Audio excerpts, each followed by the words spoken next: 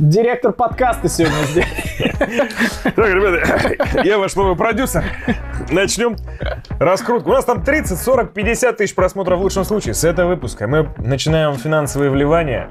Зовем Леона Эдвардса, и он, кстати, уже частично с нами. А если по-серьезки, то Пока твои вливания ограничились лишь Леоном Эдвардсом, а сам понимаешь, там вливаний много не надо. Да надо как, он с создали дерется в декабре. Ладно, короче, пацаны, девчонки. Девчонки тоже есть? есть, есть. Сегодня у нас будут итоги конкурса, и кто-то из вас, ребята, пойдет на бой Федора Емельяненко. Но это будет не в начале, не в конце, а где-то по центру запрятано, так что вам придется посмотреть наш подкаст целиком, но он будет небольшой, поэтому это будет просто. Да, сегодня, к сожалению, логистически возникли не- некие проблемы, поэтому мы до двух часов должны уложиться. Но мы постараемся. Паша говорит, что мы обязаны это сделать. Мы уже несколько подкастов назад тоже обязаны были сделать, но они даже в три не уложились. Так что мы ничего не обещаем. Как будет, так будет. Мы сидим здесь и понятия не имеем, сколько будем разговаривать. Поэтому будем Справедливо. разговаривать столько, сколько захотим. Поехали.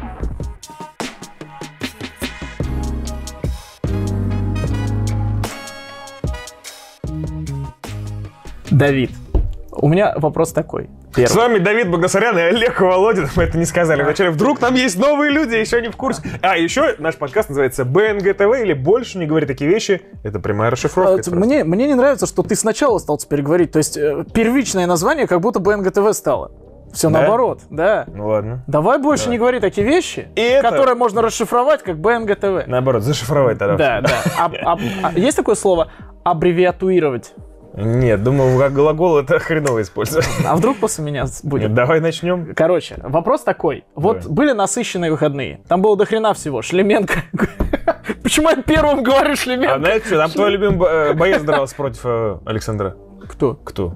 Гусейнов. Он не мой. Тот самый. тот. Это прикол, давай расскажем. Давай, давай. Я все время, мы же комментируем наше дело, и там есть такой патриарх э, поп ММА Руслан Гусейнов. На бинтах. Он Да, же. прозвище на бинтах, ну его наверняка все знают, кто за этим следит. И, в общем, я когда комментирую, периодически называю его Артур Гусейнов, потому что я, у меня первичный Гусейнов в голове, это именно Артур Гусейнов. Ну, в общем, вот такая история. Ну, забавно, но да. не более, да. Да. В общем, Шлеменко Гусейнов, э, Исмаилов, Минеев, реванш, так.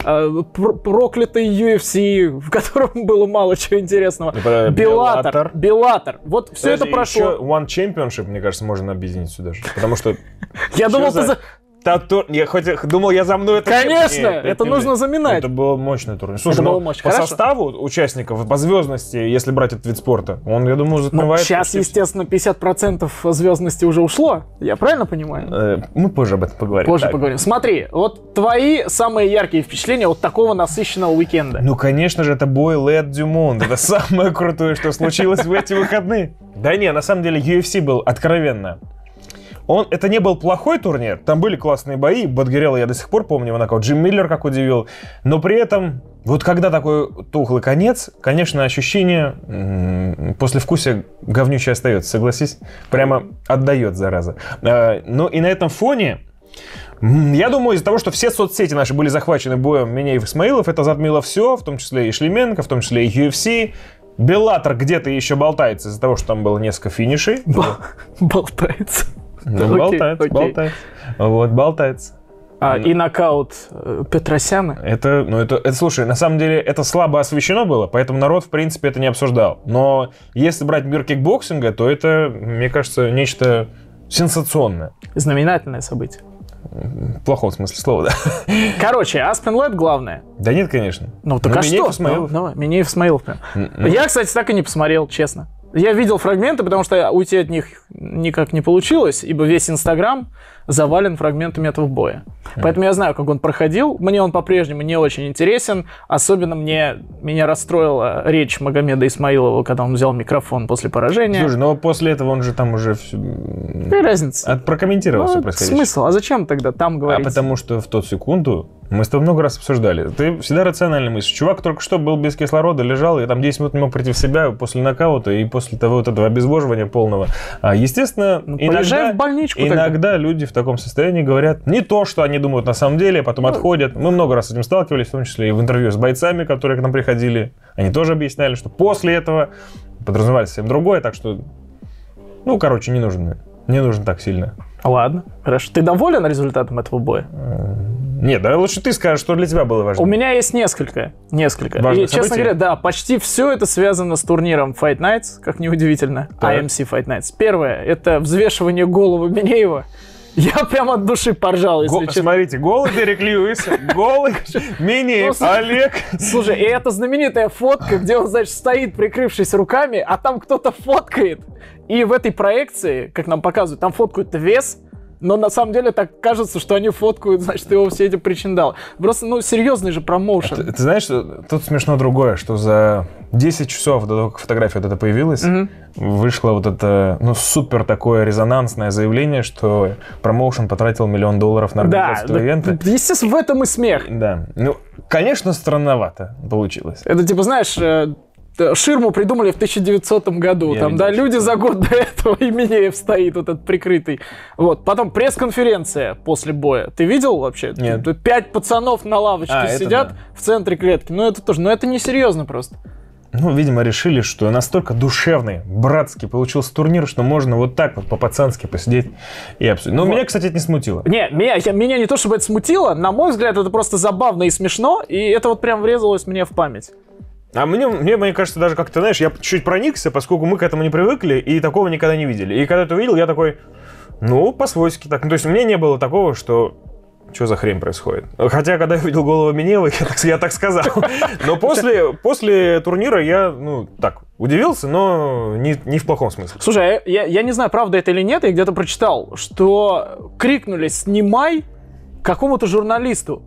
А Минеев подумал, снимай трусы, и пошел и снял в итоге их.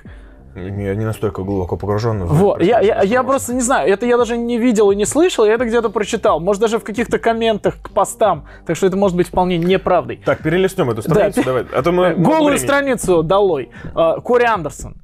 Это, это- прям, это это, прям сильно. Да. Это очень сильно. Наве- Наверное, это самое сильное э, произошедшее на выходных все-таки. да. Я забыл про это. Самое удивительное. Самое... Ну, мы предполагали с тобой, что у Уарен Андерсона больше шансов, да, по-моему, в том Да, подкасте? сма- Там, там очень многие шутят теперь над нами. Э, Я сказал, типа, я отдаю предпочтение Андерсону. Если нужно ставить деньги, я отдам предпочтение ему. Но нокаутом, я говорю, ну это слишком рискованно. И ты говоришь, нокаут, это бред полный. Они типа судят по бою с Джонни Уокером. А ведь получилось один в Да, один, как да, да, копировать, да, да. ставить, да? Именно так. Это прикольно, кстати, что именно так все произошло. Но я такого... Мне, на самом деле, этот бой напомнил, знаешь, чего? Э, Это же то же самое, что Бейдер сделал с Федором. Да, Очень похоже. Прямо Очень похоже. практически идентичная ситуация с п- похожим таймингом по времени боя, да, плюс-минус, с Ну да, похожим да. ударом и с похожим потрясением. Плюс то было гран-при. Правда, финал, здесь полуфинал. Да. Ну, в разных весах, но все же. Слушай, очень-очень много пересечений, это классно. Я, вот пока мы сейчас с тобой это не обсудили, я даже не понимал, что это настолько. Это только что пришло мне в голову, и... это- ну, это было неожиданно. Бейдера жаль. А ты- э, Мне, мне почему-то кажется, что все-таки сказалась вот эта постоянная гонка. То он в тяжелом весе, то он в полутяжелом, сам не понимает, где драться. Еще же обидно, что он в Аризоне проиграл. Турнир был в Аризоне, а Бейдер учился там в универе. А, он, он там тренируется и живет в Аризоне. Я уж не знаю, родился он там или нет. Но это, в общем, как считаю, второй родной штат, а может и первый родной. Мне жаль Бейдера в целом, что у него очень резко карьера пошла под откос в Белике. Он очень быстро там стал супер крутым и непобедимым, и все заговорили, что, ой, возможно, он в UFC не успел раскрыться, вот сейчас только он. И тут один пояс, другой пояс, гран-при, он всех выносит, мужиков, которые сильно здоровее него выносят, сюда спустился. В общем, смотрелся он очень так внушительно, впечатляющий, и я, это один из тех случаев, когда ты, в принципе, рад за бойца, у которого что-то где-то не получилось, и вот здесь он смог, ну, как-то чуть-чуть собрать того, что, казалось бы, до этого не собрал, поскольку чуть-чуть, да, наверное, я симпатизировал ему. А особенно, когда с э, Рамблом он дрался в UFC, прямо хотелось плакать просто, думаю. Ну, я за Рамбла болел, я как бы кайфанул от того, что... Ты успел захотеть плакать, это было довольно быстро. настолько кайфанул с победы Рамбла, с- А. одной стороны, и также расстроился за Бейдера, поскольку, ну, обидно, когда у тебя настолько, ну, не, унижают, но уничтожают. Ну, на самом деле, да. Я очень хорошо помню этот бой. И Бейдер прям с двух метров кинулся ему в ноги, как будто на колени встал. Вот У- у- грубо говоря, он сразу расписался Да, в да, своем, да, не да. знаю, страхе, Да, да. беспомощности, всем остальным. Вот Типа, чувак, ты сильно бьешь, я, я бы не хотел, давай вот так вот сделаем. бей сверху. Я лежу. Было жаль его. На этом фоне Рамбл вообще убийцей казался. Вот. Но потом все поменялось. Ну, теперь немного жаль, что вот, ну, хренак, и все у него исчезло в жизни. А Кори, Корин, наверное, рановато почувствовал себя всесильным. Господи, он и в UFC, я помню, почувствовал, его После начали Уокера ушатывать, да, его начали ушатывать. Да, ну, короче. А Скотт Кокер сказал. Да, я слышал. Это ты слышал, да? Да. Как ты к этому относишься? Что значит... Давай. э, Андерсон сам сказал, что я, если выиграю Гран-при, буду самым крутым полутяжеловесом в мире. Мне кажется, он даже сейчас, я, я не помню точно, как звучала эта фраза, мне кажется, он даже сейчас намекнул, что типа я уже Один из. один из, да. Потом Скотт Кокер сказал, ну, естественно, я тоже считаю, что у нас такой престижный гран-при, у нас такие имена, он знаковый по всем статьям, и его победитель абсолютно справедливо будет считаться лучшим полутяжем в мире. Ну, то есть это либо Немков, либо Кори Андерсон. Да, теперь уже так, да. Ну, конечно, за этого поржал чемпион UFC в полутяжелом весе. Мне Ян очень Блахович. понравилась его цитата. Он очень, классно осадил. Очень классно. А можешь озвучить, Слушай, я ее даже сохранил. Я ее даже сохранил, а чтобы народ поржал? как всегда, чехол-книжка, ребята. Сейчас, сейчас, сейчас, дай-ка я... Чехол-книжка. Я ее сохранил и очень хотел зачитать. Вот, у меня есть. А, ну Да, все, супер смотри. тогда, давай. Прямо, знаешь, дед осадил Да-да-да, этих типа бунтарей там в детском саду. сосунки! Вы Да. там играете в своей песочнице. Так, значит, постой, значит, парень, который сбежал из UFC после того, как я отправил его спать и чуть не заставил его уйти в отставку, одержал пару побед во второй по значимости лиги и утверждает, что он лучший. Похоже, что я хорошенько тогда приложился. Неважно, побеждаешь там или нет, в этой игре есть уровни. Да, если бы мы выбирали, нам же предлагали рубрики «Лучший трэш-ток», «Лучший панч» и так далее, все вот в этом духе, я думаю, что вот это лучший панч недели однозначно. Мгм. Это, это было хорошо. В, в рамках недели Ян точно вырвался вперед в трэш-ток битве.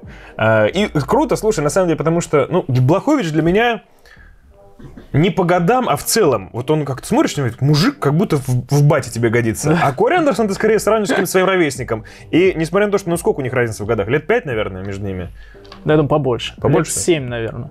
Лет. Блаховичу где-то 39, По-моему, 39 По-моему, Блаховичу. 39. И И, Андерсон 33, на 32 плюс-минус. Вот примерно в этом диапазоне, да. И поэтому вроде как не очень много, но так это все равно. Я вот Ян у меня ассоциируется с каким-то мужиком, которого надо уважать, каким-то ветераном. типа таким. А, а Кори Андерсон такой, типа выскочка, а ну, не как, конечно, Джонни Уокер. Ну, в общем, в этом, хочешь не хочешь, симпатизируешь старшему. И прикольно, когда старший, который обычно, ну, может где-то промолчать, замолчать, осаживает э, малого. Никаких Понял. оскорблений, никаких матерных выражений, Да, да, да. никаких переходов на личности, на семью, на религию и так далее. Просто вот мужик такой встал, типа, я год ничего не говорил, а вот у меня есть что сказать. И прям на его. Это гораздо прикольнее, чем то, что он говорит обычно про Джонса, что он его там ждет что-то еще, потому что... Блин, Джонс, Это обычно- Джонс отдельно, отдельная история, мне кажется, да? Ну, в общем... ай, ну что, давай Беллатор тогда обсудим, который Давай, вы, кстати, ладно. можете всегда посмотреть на ОКО Спорт. Фантастика. Директор подкаста в ударе.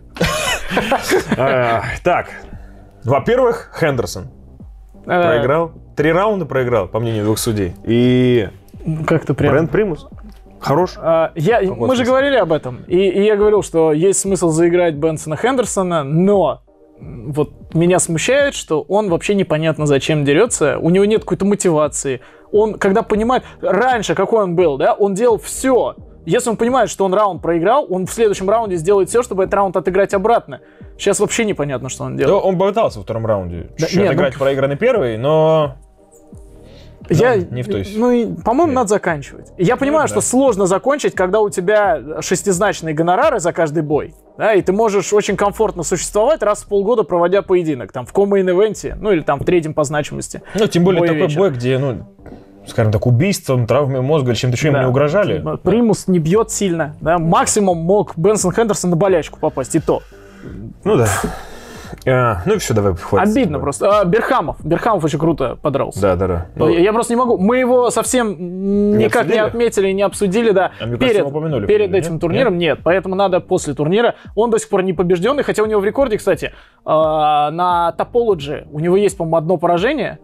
Но вроде как я проверил, это в любительском было турнире, поэтому официально в профессионалах Берхамов до сих пор не побежден. Наконец-то он дебютировал, и будем надеяться, что он просто яркий, классный, он финишер, и он еще более-менее молодой, чтобы пытаться еще раскрыться. Так, а Порубченко твой. Да хватит, слушай. Будешь чем говоришь? Я так... я- Мне кажется, я не говорил, что он будущий чемп, я говорил, что он как бы он хорош. То есть Да? к нему надо присмотреться. Если я говорил будущий чем, все простите, кто на него бабки поставил. Я, я, я каюсь, Знаешь, ребята. может, может быть, ты сказал это мне не под камеру просто. Слушай, ну я, может, Ну, так ну просто, ну, типа, знаешь, ну для красного словца будущий чемп. Мне кажется, я говорил про Палмера, канадца будущий чемп, а не про Порубченко. Ну, ладно, в любом случае, Порученко проиграл. И ну давай на это не будем заострять внимание, поскольку, скорее всего, никто не ждет разговора о нем. Что там еще? Ну, Немкова нельзя не обсудить. Нельзя. Э, Самое А. интересное, что мне понравилось из боя Немкова, когда его присадили на задницу в первом первом раунде, раунде, да, да. и он в интервью сказал, «Пф, да я- Ничего не было». Вообще ничего не было. Он говорит, я даже равновесие едва потерял. Но очень сложно верить бойцам, которые вот после того, как эмоции схлынули, они могут просто не помнить, что там Не было помню, на да. самом У деле. нас же был такой, Рамбл. что, э, да, Рамбл говорит, что даже не помнит, чтобы его там что-то роняли, ушатывали. Он говорит, я даже не понял, Да, почему да, все да, спрашивают. да, так. да. И я понял только, когда пересмотрел повтор собственного боя. То есть Такой- у, у него не было ощущения, что его роняли там и чуть не усыпили. Это прям в прямом эфире было. Ему говорят, посмотри на экран, Да. что ты думаешь, насколько ты был сильно потрясен. Он такой, оу, оу, оу, что происходило? Вот. И с другой стороны, ну а как ему не верить? Он же был в клетке, Не, а не мы, да? И вот Нет, я думаю, что просто, ну, не нужно слишком буквально это воспринимать, и нужно все-таки делить на то, что в эти моменты, ну, вполне возможно, что мозг часть информации не сохранил, и тупо из-за того, что он был в аварийном режиме, да, и, ну, может быть, он это говорит не для красного словца, а потому что реально эта часть стерлась у него из памяти Ну, из-за экстренного такого попадания. Скотт Кокер сказал, что он думал, что это конец. То есть ему, он сидел, естественно, в cage-side е, там близко, да, там, ну, достаточно хорошо видно. Мгм. И он говорит, что он был уверен, что все, как бы все, сейчас будет все кончено, бой, зак- бой Ups- закончен. Upset года был бы, да? Ну, Скотт Кокер был уверен, да. Он прям сам в интервью это сказал. Ты, то- насколько знаешь, скорее всего, какой э, коэффициент был на Англикаса? Блин. Просто интересно. На это, Немкова типа, это падал. 5? На- ну, смотри, я знаю, сколько был на Немкова. Э, 1,3 был изначально. Мгм. И падал, когда я последний раз смотрел перед боем, 1,18 был. Ну, что около 6 был, скорее всего. Не, около 6 вряд ли. Я, я просто ценю, э, могу сравнить, например, с текущими кайфами на Хукер Махачев, Мгм. где Махачев 1.18 Так. и Хукер 6. А, ну, все. Плюс-минус там. Вот, видишь, ты хотя бы таким образом приобщаюсь, да, приобщаюсь. пристрастился уже, хотя бы коэффициент различаешь, да? А, Ну, я к тому, что... Ну, это был бы мощный upset. Да, чемпион очень- сменился, очень на мощный. коротком уведомлении парень вышел, его толком никто не знает, но он не, не мешок, это Он факт. пятый номер рейтинга был. Да.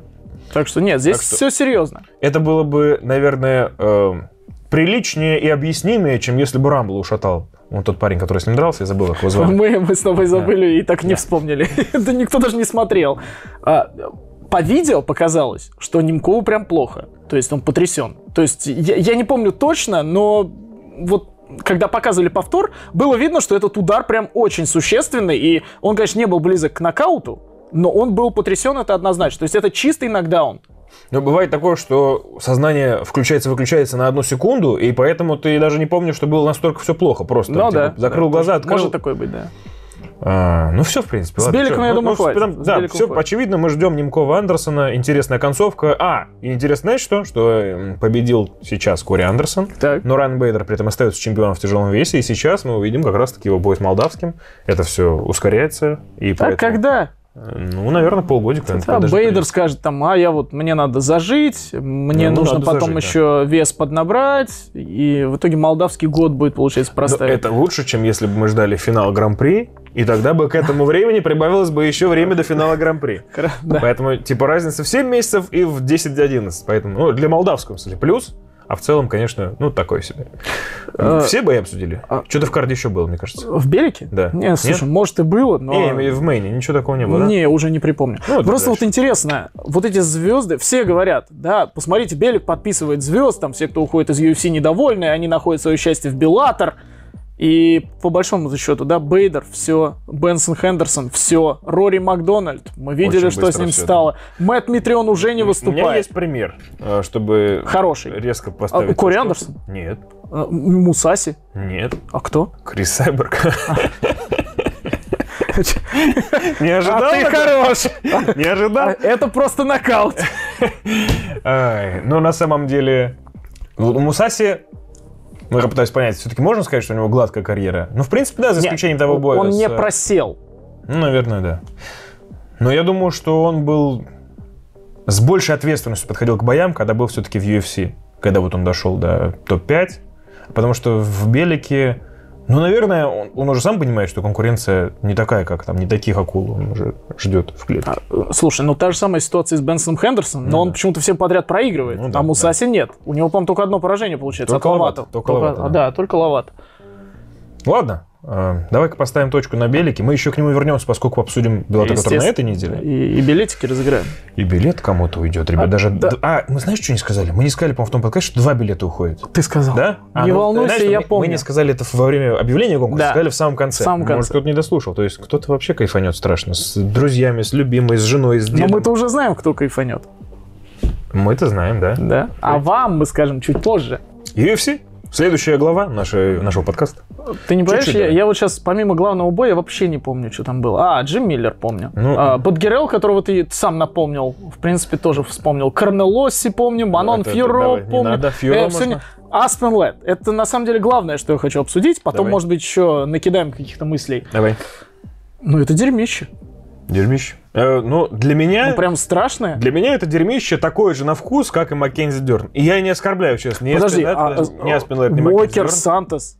Э, не, ты не понял. Э, Уокер Сантос, там было два бойца, ни рыба, ни мясо. Так. Но в бою Родригес, Дерн и в бою Димон Лед только А. один боец был ни рыба, ни мясо. Окей. Потому что Хорошо. объективно, что Норма Димонт, что Марина Родригес, ну, легко расправились с угрозой, которую могли предоставить ей что Маккензи Дерн, что Аспен Лед.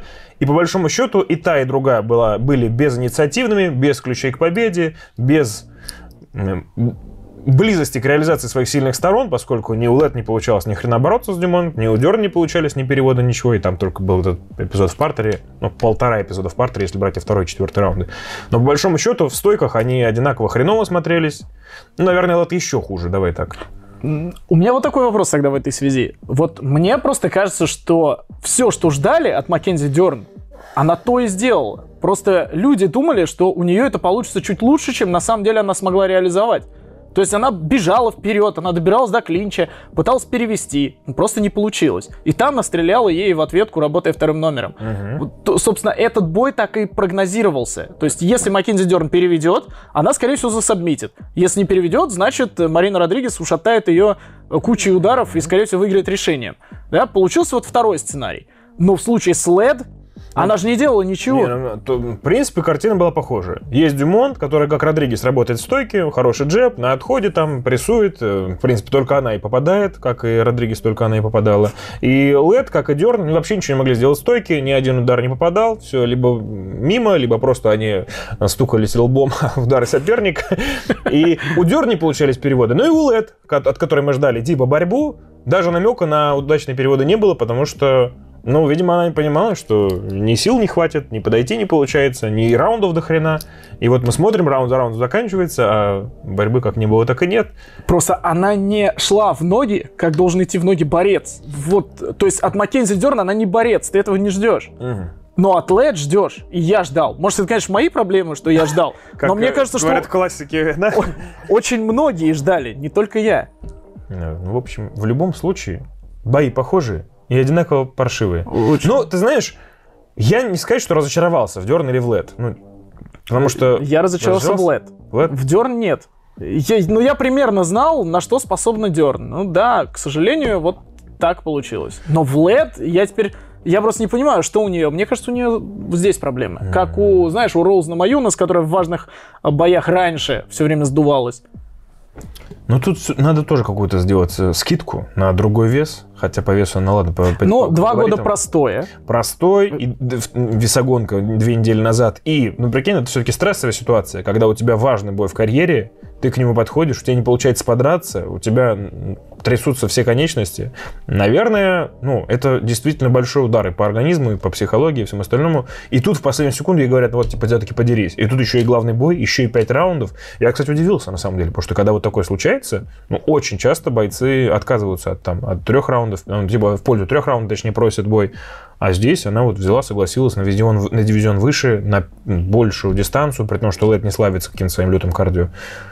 Ну, в тут, общем, она же не выступала два года, у нее была травма. Я так понимаю, что ей нужно было просто во что бы то ни стало выступить, проверить себя, почувствовать, что это такое, вернуться в клетку и, в принципе, почувствовать себя снова бойцом.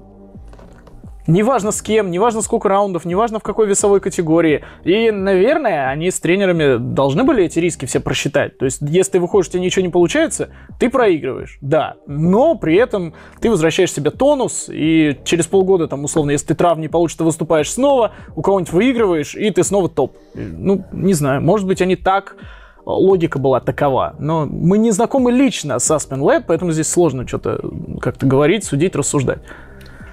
Э, знаешь что, я смотрю, лагерь разделился на две стороны по поводу действий тренера. Да, я тоже хотел это да? обсудить. Это очень интересно. А, с одной стороны, с одной стороны, прикольно, что тренер был настолько искренний и честный, поскольку ну, он не скрывал то, что он зол, и то, что он не может от нее добиться. И э, это прикольно, когда ты видишь, что это вот так, вот в открытую. Прямо при тебе какая-то драма, и тренер ну, отчитывает своего подопечного и не понимает, почему он не получает никакого фидбэка на его слова. С другой стороны, объективно, то ли тренер недостаточно хорошо знает своего подопечного, поскольку все-таки это, наверное, действительно какая-то внутренняя работа, когда тебя должны понимать с полуслова, а ты говоришь и в ответ вообще ничего. Не думаю, что здесь только проблема LED. Наверное, проблема тренера есть, поскольку... Ну, это как с э, родительством. Если ты не можешь объяснить словами и начинаешь там давать только подзатыльники и избивать своего ребенка, то, наверное, дело в тебе. Вот. Как с, э, ну, в общем, если ты не хочешь, чтобы твой сын рос Бартом Симпсоном, не будь Гомером Симпсоном. Э, мне кажется, тут вот такая двоякая штука. Это сработало против Яны Куницкой. Когда он ее разбудил да, перед да. третьим раундом. Это сработало. Значит, он знает ее. Про... Меня другое волнует. А, его заклеймили абьюзером уже. Серьезно. То есть люди там, вз... ну, в общем, кашу такую взбаламутили в а, соцсетях. Был, да? То есть там реальный хейт идет в сторону этого мужика. Да как вы смеете? Как ты можешь говорить такие вещи про нее? Больше не говори такие вещи, если что. А он же ничего плохого не говорил. Вот именно, ругался, вот именно. Я думаю, там вообще не, не было ни ничего. слова оскорблений. Да, да. Одно дело, если бы он ей сказал, ты, значит, тварь, какого черта ты ничего не делаешь? Надо меньше со своим мужиком развлекаться накануне, надо драться, давай вперед. Ничего такого не было. Он, не, говорит, он, он говорил, что ты делаешь? Ты проигрываешь 3 да, раундом, а да. у нее три раунда, у тебя ничего в ответ. Ну, типа, ну, он был, конечно, недоволен, но в целом он не оскорблял ее. Вот да? именно, и не было оскорблений. Да, он говорил с матом, с матерком да? и с вкраплением слов на F. Было такое? Да, было. Было, было. Но это не оскорбление. То есть он не обзывал ее. И это было направлено, вся эта нецензурная брань, она была направлена не лично против Аспен Лед, а вот в отношении всей той ситуации, которая сложилась по итогам, там, я не знаю, третьего, четвертого раунда. Вот. И Даниэль Кармье, кстати, его защитил. Он даже да. сказал, что я бы хотел, чтобы такой тренер был в моем углу. А, Лора Санко. Вот что важно, женщина. Она говорит, я, может, конечно, привыкла к таким разговорам от Джеймса Крауса, типа, но ничего плохого в этом нет. И еще вопрос такой важный, то есть представь, что это была не Аспен Лед, а мужик. Это вообще все было в порядке вещей. Вот да? именно. Да. Они То есть вы, что-то пощечины. Да, вы, вы все вот эти за МНСП, вот эти все права, мы все должны быть одинаковые права, женщины мужчины едины в этом плане. Знаешь, что на этом моменте нужно сделать? Просто показать, как Крис Сайберг за секунду до входа в клетку, когда ей просто лещи отвешивают злых, и она хочет просто ушатать своего тренера за это. Ну, если вдруг кто не видел, короче, Сайберг прямо за секунду до начала боя получает такие оплюхи от своего тренера, чтобы в ней проснулся, как она говорит, инстинкт убийцы, что по, по ее лицу видно, что он просто, если бы у него был нож, она бы его зарезала в эту секунду. В общем, женщины всегда хотят быть наравне с мужчинами э, в, в единоборствах, в том числе в смешанных единоборствах. Это не, ну как бы это не исключение. Они хотят такие же гонорары, как у топовых э, мужиков-бойцов, да? Но, ну, они, кстати, уже приближаются. Да. Но если вы хотите так, то, к сожалению, нужно и такое терпеть. Ну, а что, разве я не прав? Зря ты эту тему поднял. Заблокируют нас за это. Какой-нибудь модерация придет под YouTube. Поднимаем а там... На всякий случай тебя слышно все равно. Это шутка такая. Я знаю. Короче. Ну ладно. Мы на самом деле поддерживаем феминизацию, это все круто. Нет. Ну вот, но YouTube, они не строгие пидорасы. Не надо было их так называть. Да. Ладно, в общем, давай ближе к делу. Слушай, ну вот наш чемпионат подкаст-канал кому нужен? Ну реально. Найдет сейчас кто-нибудь, кто жалобу напишет. Ладно, давай, короче, хватит угорать на эту тему. В общем, я считаю, что плохо, когда тренер не знает, что сказать, чтобы донести мысль, э, но криминального я здесь ничего не увидел. То есть, чтобы сказать, что хейтить его, тоже не стоит. Вот. Ну и, наверное, мы можем поставить точку на этом поединке, мы уже все высосали. Последний вопрос. Дюмон сама сказала, Лед, девчонка здоровая, хрен ли ей биться в легчайшем весе? Оставайся-ка ты в нашем, поскольку ты как мы, в 66 кило. Ну, я понимаю, Димон. да. Потому что если бы она Ей- ей сказала, было- оставайся в 135, ей бы сразу сказали, так, ты чё? Она же попросила временный пояс против Холм, бой за временный пояс против Холм. Вот такой, блядь, полулегкий вес сейчас женский. Паш, здесь надо запикать. Да не надо, не надо, пусть будет. Ну, Да, по- то есть ты не- непонятный no name, без рейтинга, побеждаешь девушку из другого дивизиона, которая ничего не делала на протяжении 25 минут, и про- просишь бой за временный пояс. И самое интересное, знаешь что? Что это, в принципе, имеет какую-то логику. Да. В этой весовой категории свои правила. Тут интересно все. И Норма Дюмонт, и то, что временный пояс. И самое интересное, что соперница Холли Холм, которая... Ну, ну, ну, травмировалась только что. И она, в принципе, миллион раз уже дралась во всех дивизионах за да, все пояса. да, и у нее больше поражений, чем побед в последних боях. Серьезно? Ну, насколько я помню, да.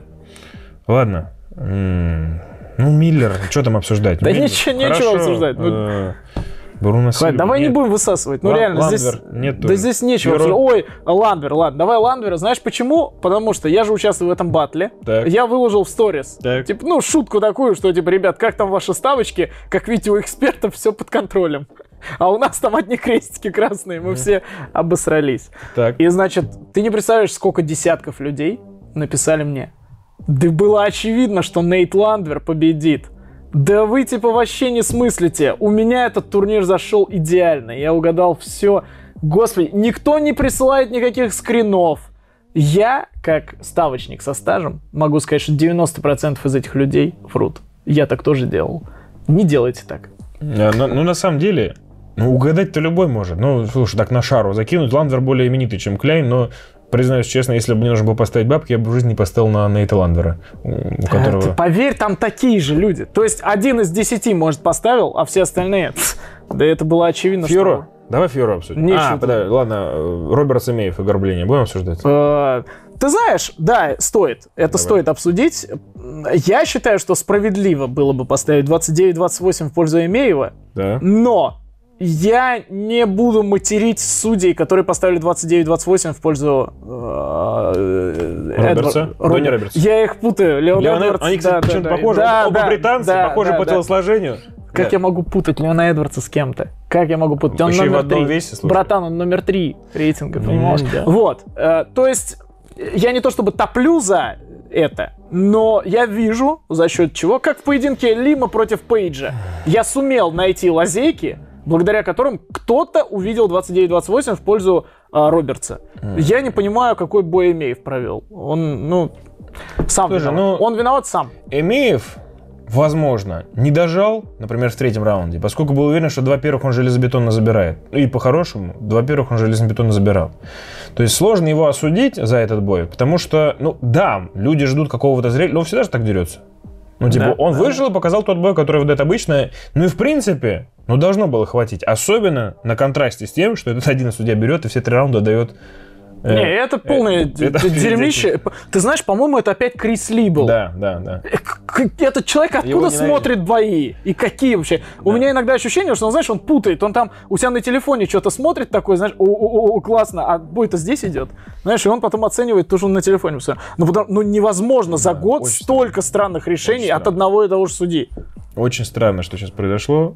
Ну, Хочешь посмотрим на его решения другие или нет? Э, Мы уже смотрели. Да? Э, Ну, самое знаменитое его решение это победа Фелдера над Досанисом, когда даже Фелдер такой стоит, типа, да, я выиграл. Причем мы с Олегом э, обычно в секунду, когда появляется ринг-анонсер и озвучивает, мы с Олегом ну, друг с другом переглядываемся, поскольку у нас микрофоны включены, мы ничего не говорим, мы просто показываем пальцем. И мы когда слушаем оценки, когда слышим третью оценку, мы сразу такие, о, победил этот, и вместе показываем пальцем. И когда слышим, значит, 320, 327, мы с Олегом такие, а, ну все, Эмеев забрал, потому что, ну, Третий раунд сложно было отдать Имееву, но можно было предположить, что, учитывая там равенство по ударам, и Ты видал? нормально. Охренеть. Фартануло. Да, что можно было предположить, что теоретически вполне может быть. И когда мы слышим 327, ну, типа, по первым двум раундам, ну, невозможно было представить, что точно все забирает э, Дэнни Робертс. И мы такие, Эмеев точно такой, Дэнни Робертс. Да, это странно было. Чего? Да, ну так что Ну, сечка, кстати, знатная, конечно. Очень. Я даже, Лопать, лопать это лопать. я удивлен, что не было, вот знаешь, как всегда в социальных сетях, типа, мы ограничили доступ к этому контенту, чтобы вас не шокировать. Я думаю, что в э, Инстаграме, скорее всего, это сейчас везде появится. Наверное, Просто я в Инстаграме смотрел. Да, и не было такого. а Иногда не мгновенно. Типа ты выложил там через 10 часов после публикации, но, но это жесткая фигня. Они там еще оттягивают Да, ему да. кожу. И народ еще спрашивает, а зачем оттягивать, типа для видоса? Да-да-да. Я тоже, кстати, задался этим вопросом. Сложно объяснить, почему. Я, кстати, знаешь, когда- э, поскольку крупным планом снято, я не сразу понял, что это макушка.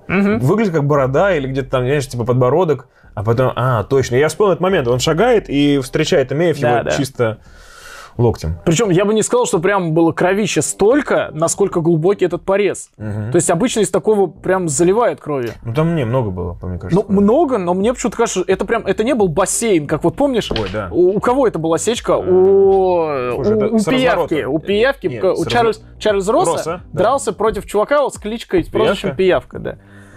Черт, взрослый, с кем он дрался? Господи, я забыл кого. Ну, короче, Джонсон, э, Джонсон, Родригес style вот этот. Джексон или Джексон или Джексон, Джонсон, Джексон. Джексон, Джексон, Не, не будем проверять. Джексон, да. А, знаешь, кстати, вот про, мы проговорили про нокауты. Ну, один из самых прикольных нокаутов выходных прошлых от э, бойца нашего дела. Вы в Fight Nights не видел вот это? А, э, Шарабутдин Магомедов. Да.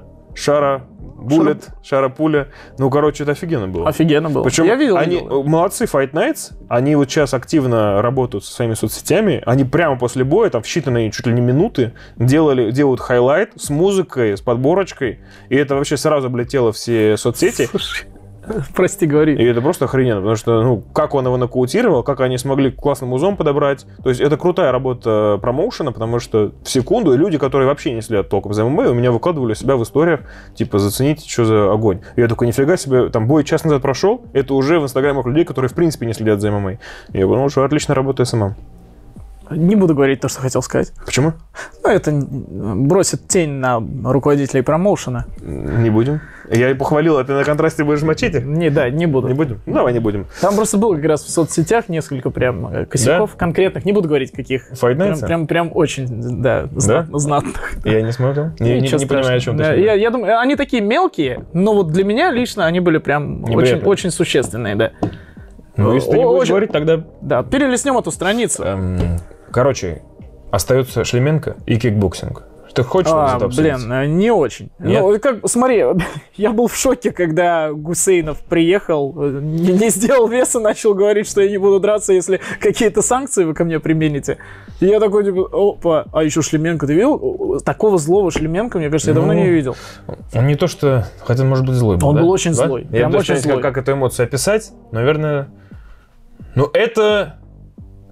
Скажем так, Гусейнов сделал все, чтобы залезть к нему Да, под кожу, да? И да. это сработало. Но- Сработало, Но, сработало. при этом в бою Он ну, руку он, сломал. он с холодной головой. Он был. руку сломал.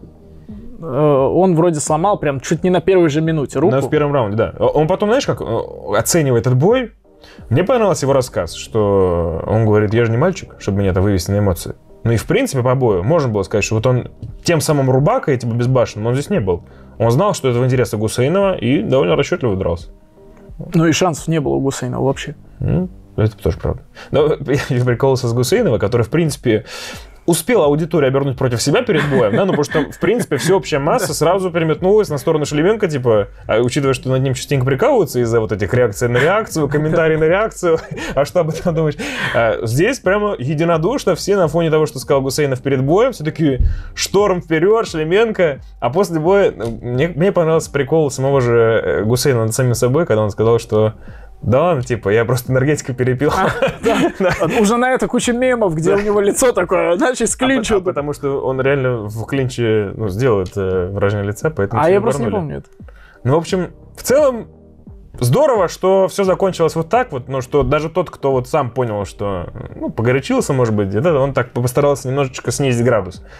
Вот. Ну. Мне теперь нравятся потенциально бои Шлеменко, например, против Минеева. А вот самый большой бой считается теперь. Ну, Камил Да. Так считает. Ну, кстати, это Э, можно... ты, ты понимаешь, это классно. Здесь вроде нет магии Исмаилова уже, но это все равно считают самым большим боем. И это прикольно. Да. А еще же люди шутили, не могу это не сказать. Наверняка все видели эти мемы, да? Что, типа, Шлеменко почему прижимался к Гусейнову? Он шептал ему на ухо мнение свое об этом бое. Я не видел шутку. Не видел? Не знаю, мне что-то... Меня это улыбнуло. Не, ну Шлеменко молодец. Э, И, кстати, вот знаешь, что мы же предполагали, а чем мог Хабиб замотивировать его, чтобы вообще подписать свою лигу на свой турнир.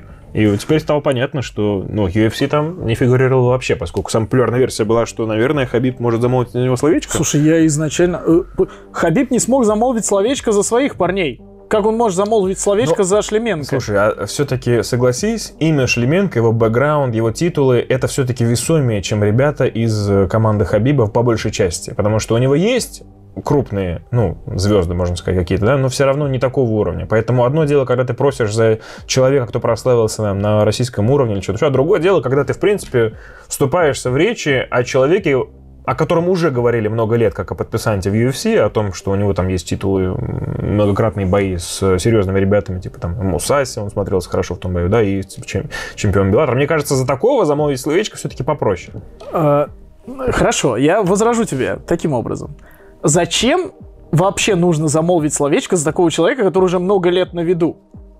В чем смысл? Потому что он много лет пытается попасть в UFC, и Так. там явно есть непреодолимая какая-то стена. И учитывая, что у Хабиба все-таки максимально близкий контакт к президенту организации, наверное, это могло бы вызвать эффект, как, знаешь, как маленькая такая щепотка специй сверху. Ну, мне просто кажется, что если там такое непреодолимое препятствие, что человека с таким бэкграундом никак не могут в UFC взять, ну, значит, никто уже не поможет. Наверное, там что-то есть прям глубинное. Ну, короче, будет прикольно, если вдруг Шлеменко получит шанс, о котором так долго ждет, но пока рассчитывать на это не приходится. Но бой с Минеевым, наверное, самая прикольная для меня перспектива в плане финансов. Я думаю, что это самый денежный бой, который можно устроить. Мне Звук. просто, мне просто даже наплевать на вот эту вот сторону вопроса. Мне интересен бой... То есть вот я говорил, что мне не очень интересен бой Исмаилова с Минеевым, потому что это больше похоже на поп ММА. Лично для меня так было.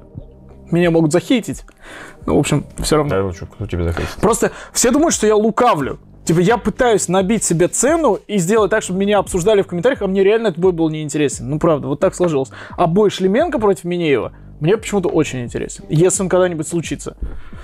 Короче, давай-ка мы сейчас поговорим про ACA. Я даже знаю о чем. Я знаю, о чем мы поговорим. Чуть-чуть, чуть-чуть. Не про бои, не про турниры. а, ну, этот инцидент бросился в глаза, наверное, всем.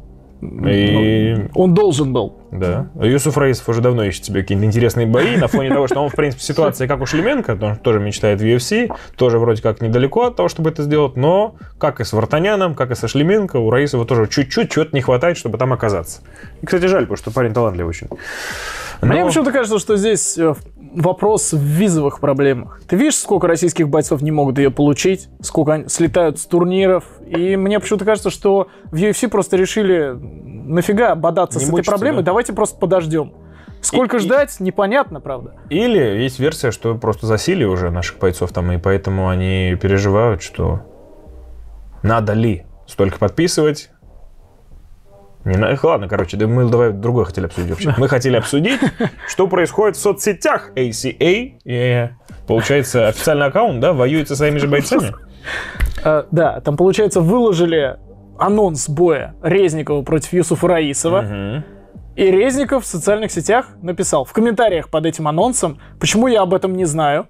И потом опять 5 плюс 5, я за такие деньги типа драться не буду. И в комментариях же, прям там целая ветка, разгорелся спор между Резниковым и официальным Промоушен. аккаунтом ACA. Да. Ну это смех. Э, Ну, да, да, смотри, есть две стороны. Одна меня смущает э, не в пользу ACA, одна смущает в пользу ACA. Так. Э, Ты, наверное, удивлен, что есть что-то... А, не, не, мне просто интересно, поэтому озвучиваю. Э, Ну, первая вещь, это, конечно, очень странно, что промоушен с официального аккаунта выясняет отношения со своим бойцом. Да. Причем, ну, там жестко довольно, да? С этой Да. шуткой про здоровье. Это прямо- Проблем, даже они пишут про гонорары открыто там. Да-да-да. Прям там, в соцсетях, в комментариях. С одной стороны, в UFC такое представить невозможно, чтобы такое происходило. С другой, это, в принципе, похоже на политику UFC, когда до боя они подстегивают э, тем, что, ну, это начинает обсуждаться уже в СМИ, хотя еще никто не подписал контракты, как уже много раз было, типа Коста Канониры, таких примеров масса, да?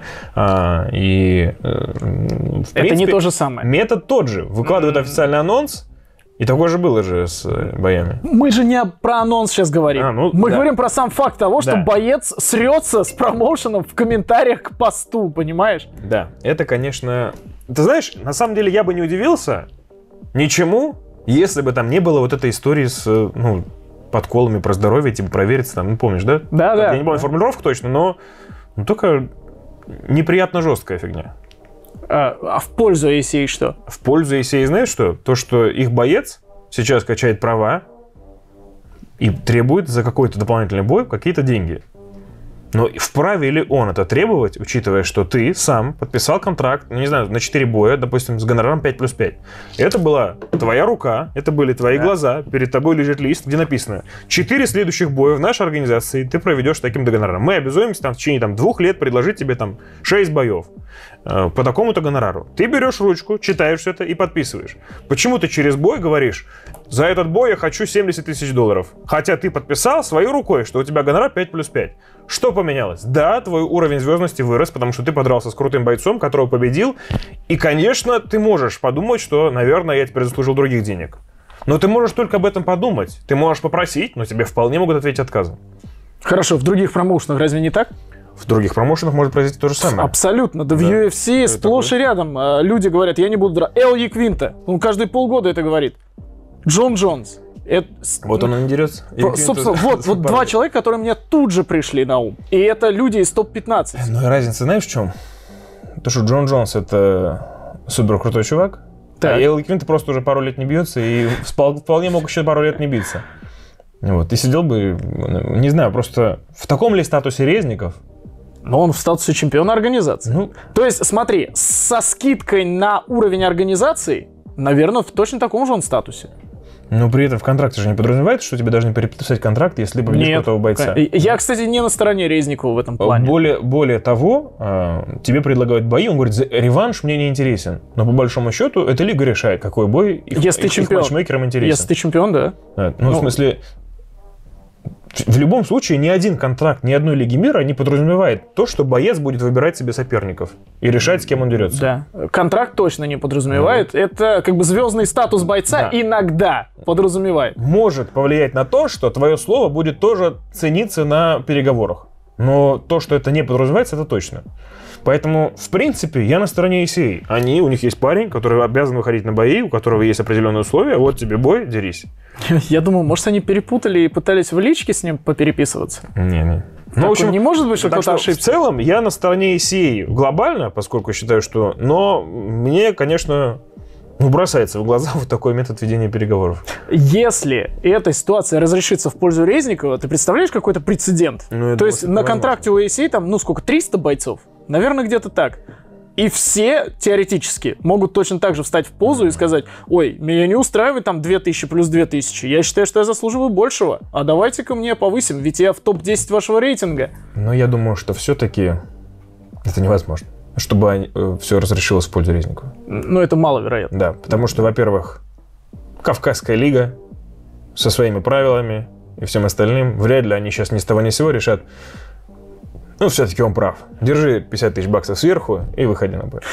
И для него, видишь, проблема. Талантливый ведь боец. И простаивает, да. И простаивает. И он в безвыходной ситуации. То есть, если ничего в его пользу не разрешится, угу. его же никто не отпустит. Мне почему-то кажется, что там в позу встанут просто. И есть вероятность, что там вообще срока давности нет у этого договора. Ну, я думаю, что у любого договора должен быть. Ну да, по идее есть, есть. Да, там количество боев он, или... Он, он же тоже не дурак. Если бы там не было срока давности, получается, он их раб до конца своей жизни. Они могли просто, ну, типа, до, до 50 лет его мариновать. Ну нет, там же да. бывает такое, что мы обязаны предложить тебе там один бой условно в год. Типа, с нашей стороны есть такое минимум, обязательство. Ага. Да. И у него, например, 4 боя. То есть он на 4 года связан. А 4 года простое, это ой, как много. Ну, так они могут его дальше содержать, да? Вот. Если... И, либо он соглашается на те 5 плюс 5, или я не знаю, какие там договоренности, но, судя по всему, ни для кого это уже не секрет, что у него договор на 5 плюс 5. Либо он простаивает. Видимо, простаивает. Ну, просто по нынешним меркам 5 плюс 5 для чемпиона лиги, которая, на мой взгляд, входит в топ-5 в мире, как минимум в топ-5, может быть, даже и выше. Это, конечно. Да не учитывая то, что он не подписал этот контракт в качестве статуса чемпиона. Когда эти четыре боя закончатся, я думаю, он переподпишет на совершенно других условиях. Вот. Но к моменту, когда он подписывал этот гонорар, э, контракт на такой гонорар, он был все-таки никому неизвестный парень у которого мало шансов стать чемпионом. Ну или там есть а, потенциал, вот. в лучшем случае. Значит, опростоволосился менеджер. Это как Нейт Диас до боя с Конором Макгрегором получал 20 плюс 20 там или сколько там, да? И при том, что у него там был бэкграунд в десяток боев, участие там, ну короче. Ну, поэтому надо прописывать в контракте, что в случае, если боец завоевывает чемпионский пояс, Понятно, что это маловероятно. Но, кстати, вот профессионального менеджера высокого уровня отличает, наверное, от непрофессионального, что он такие нюансы просчитывает. Я думаю, что в UFC ни один боец не подписывался на такую историю с тем, что у него там определенный гонорар, и типа сразу пишут, если я стану чемпионом, мне гонорар увеличивается в 10 раз. А зато, кстати, в Белике история есть очень популярная, ее Виталий Минаков рассказывал, что когда ты становишься чемпионом в Белике и защищаешь пояс, один раз, например, Мгм. то твой контракт автоматически пролонгируется на энное количество боев. В UFC что же самое? Ну, я просто не знаю, у всех ли так? Ну вот у Виталия Да-да. Минакова так было. В UFC точно, да, пролонгация такая же автоматическая.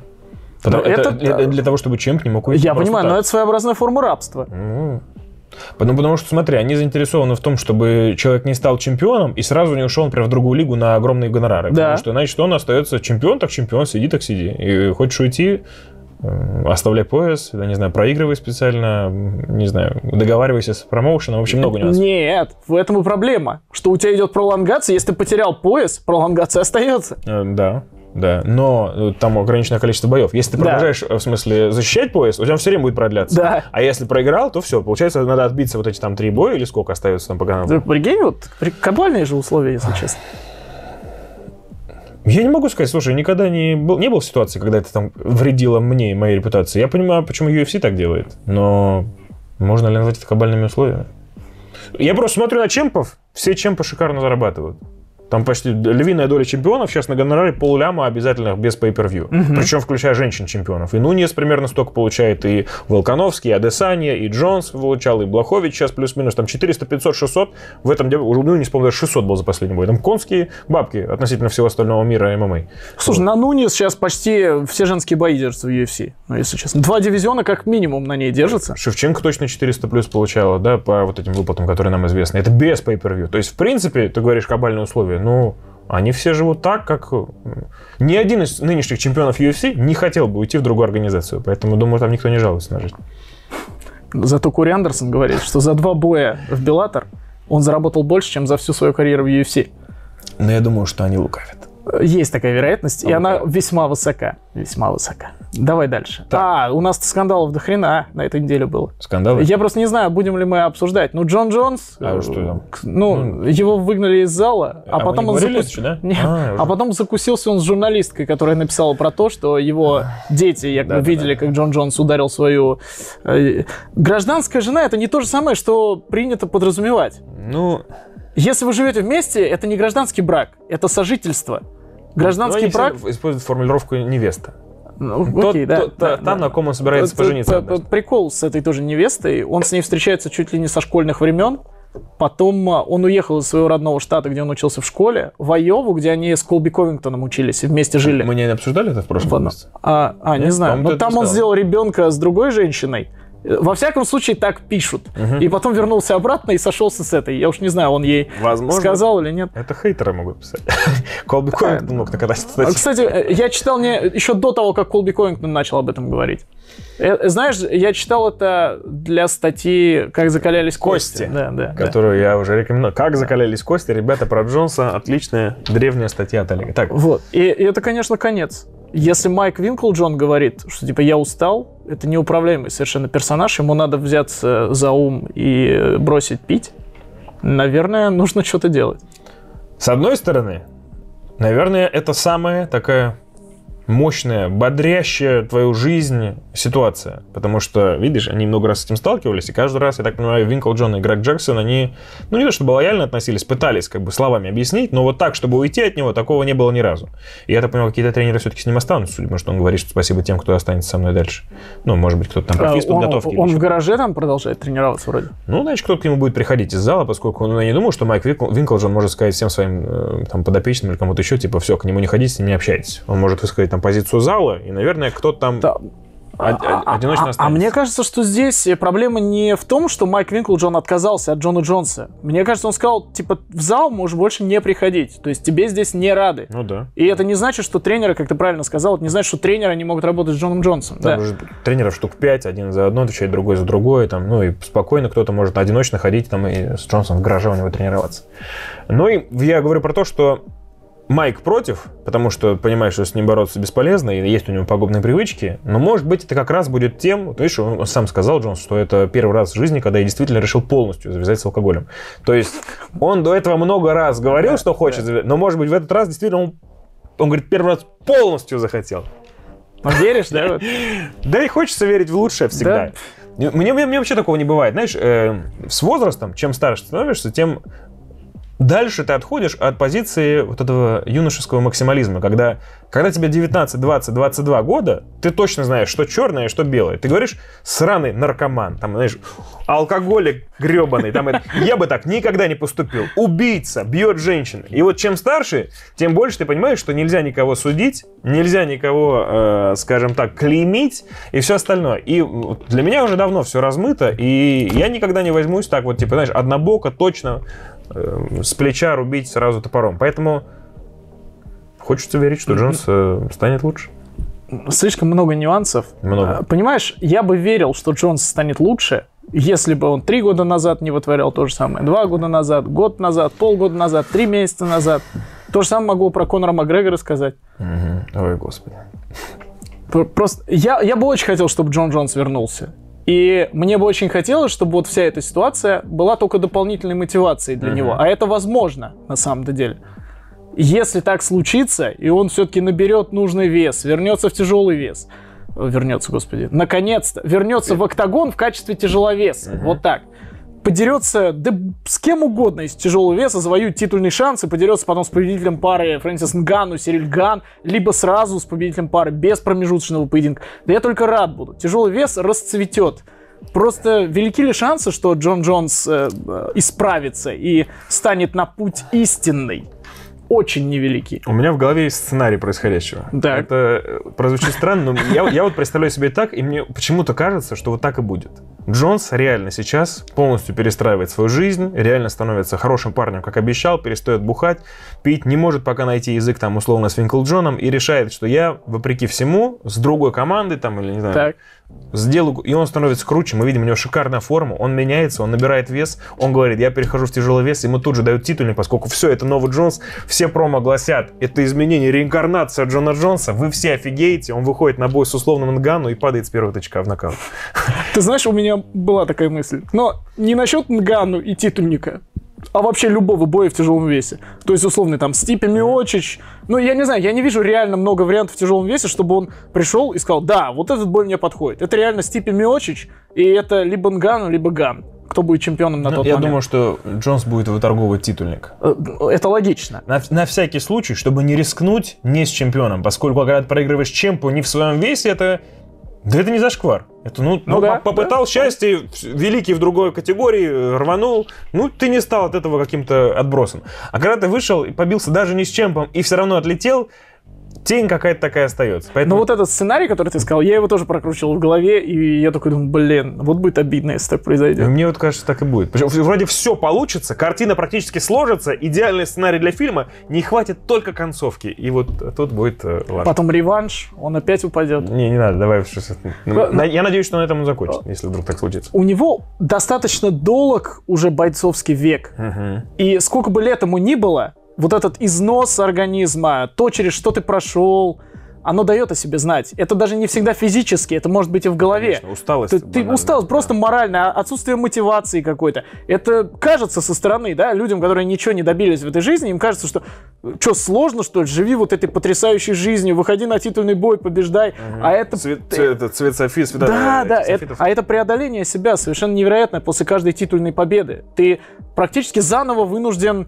То есть ты умираешь как спортсмен и потом должен возродить себя. А учитывая, что ты проходишь каждый раз этот цикл, который тебя изводит эмоционально и физически с э, тем, что тебе нужно готовиться с этим мандра, мандраж, волнение, тревоги, все остальное, ты подходишь в последнюю неделю, тебя уничтожает твоя весогонка, да, да. это психологически давит, организм истощается, в последнюю секунду думаешь, ничего не получится, потом все-таки получается. Это ну, э, выгорание, мягко говоря. И ты каждый раз, ты, вот, грубо говоря, проживаешь эту жизнь, как день сурка, и, не знаю, ну, есть бойцы, которые давно уже без огня в глазах именно из-за этого. И они там вынуждены где-то дерутся, где-то что-то еще.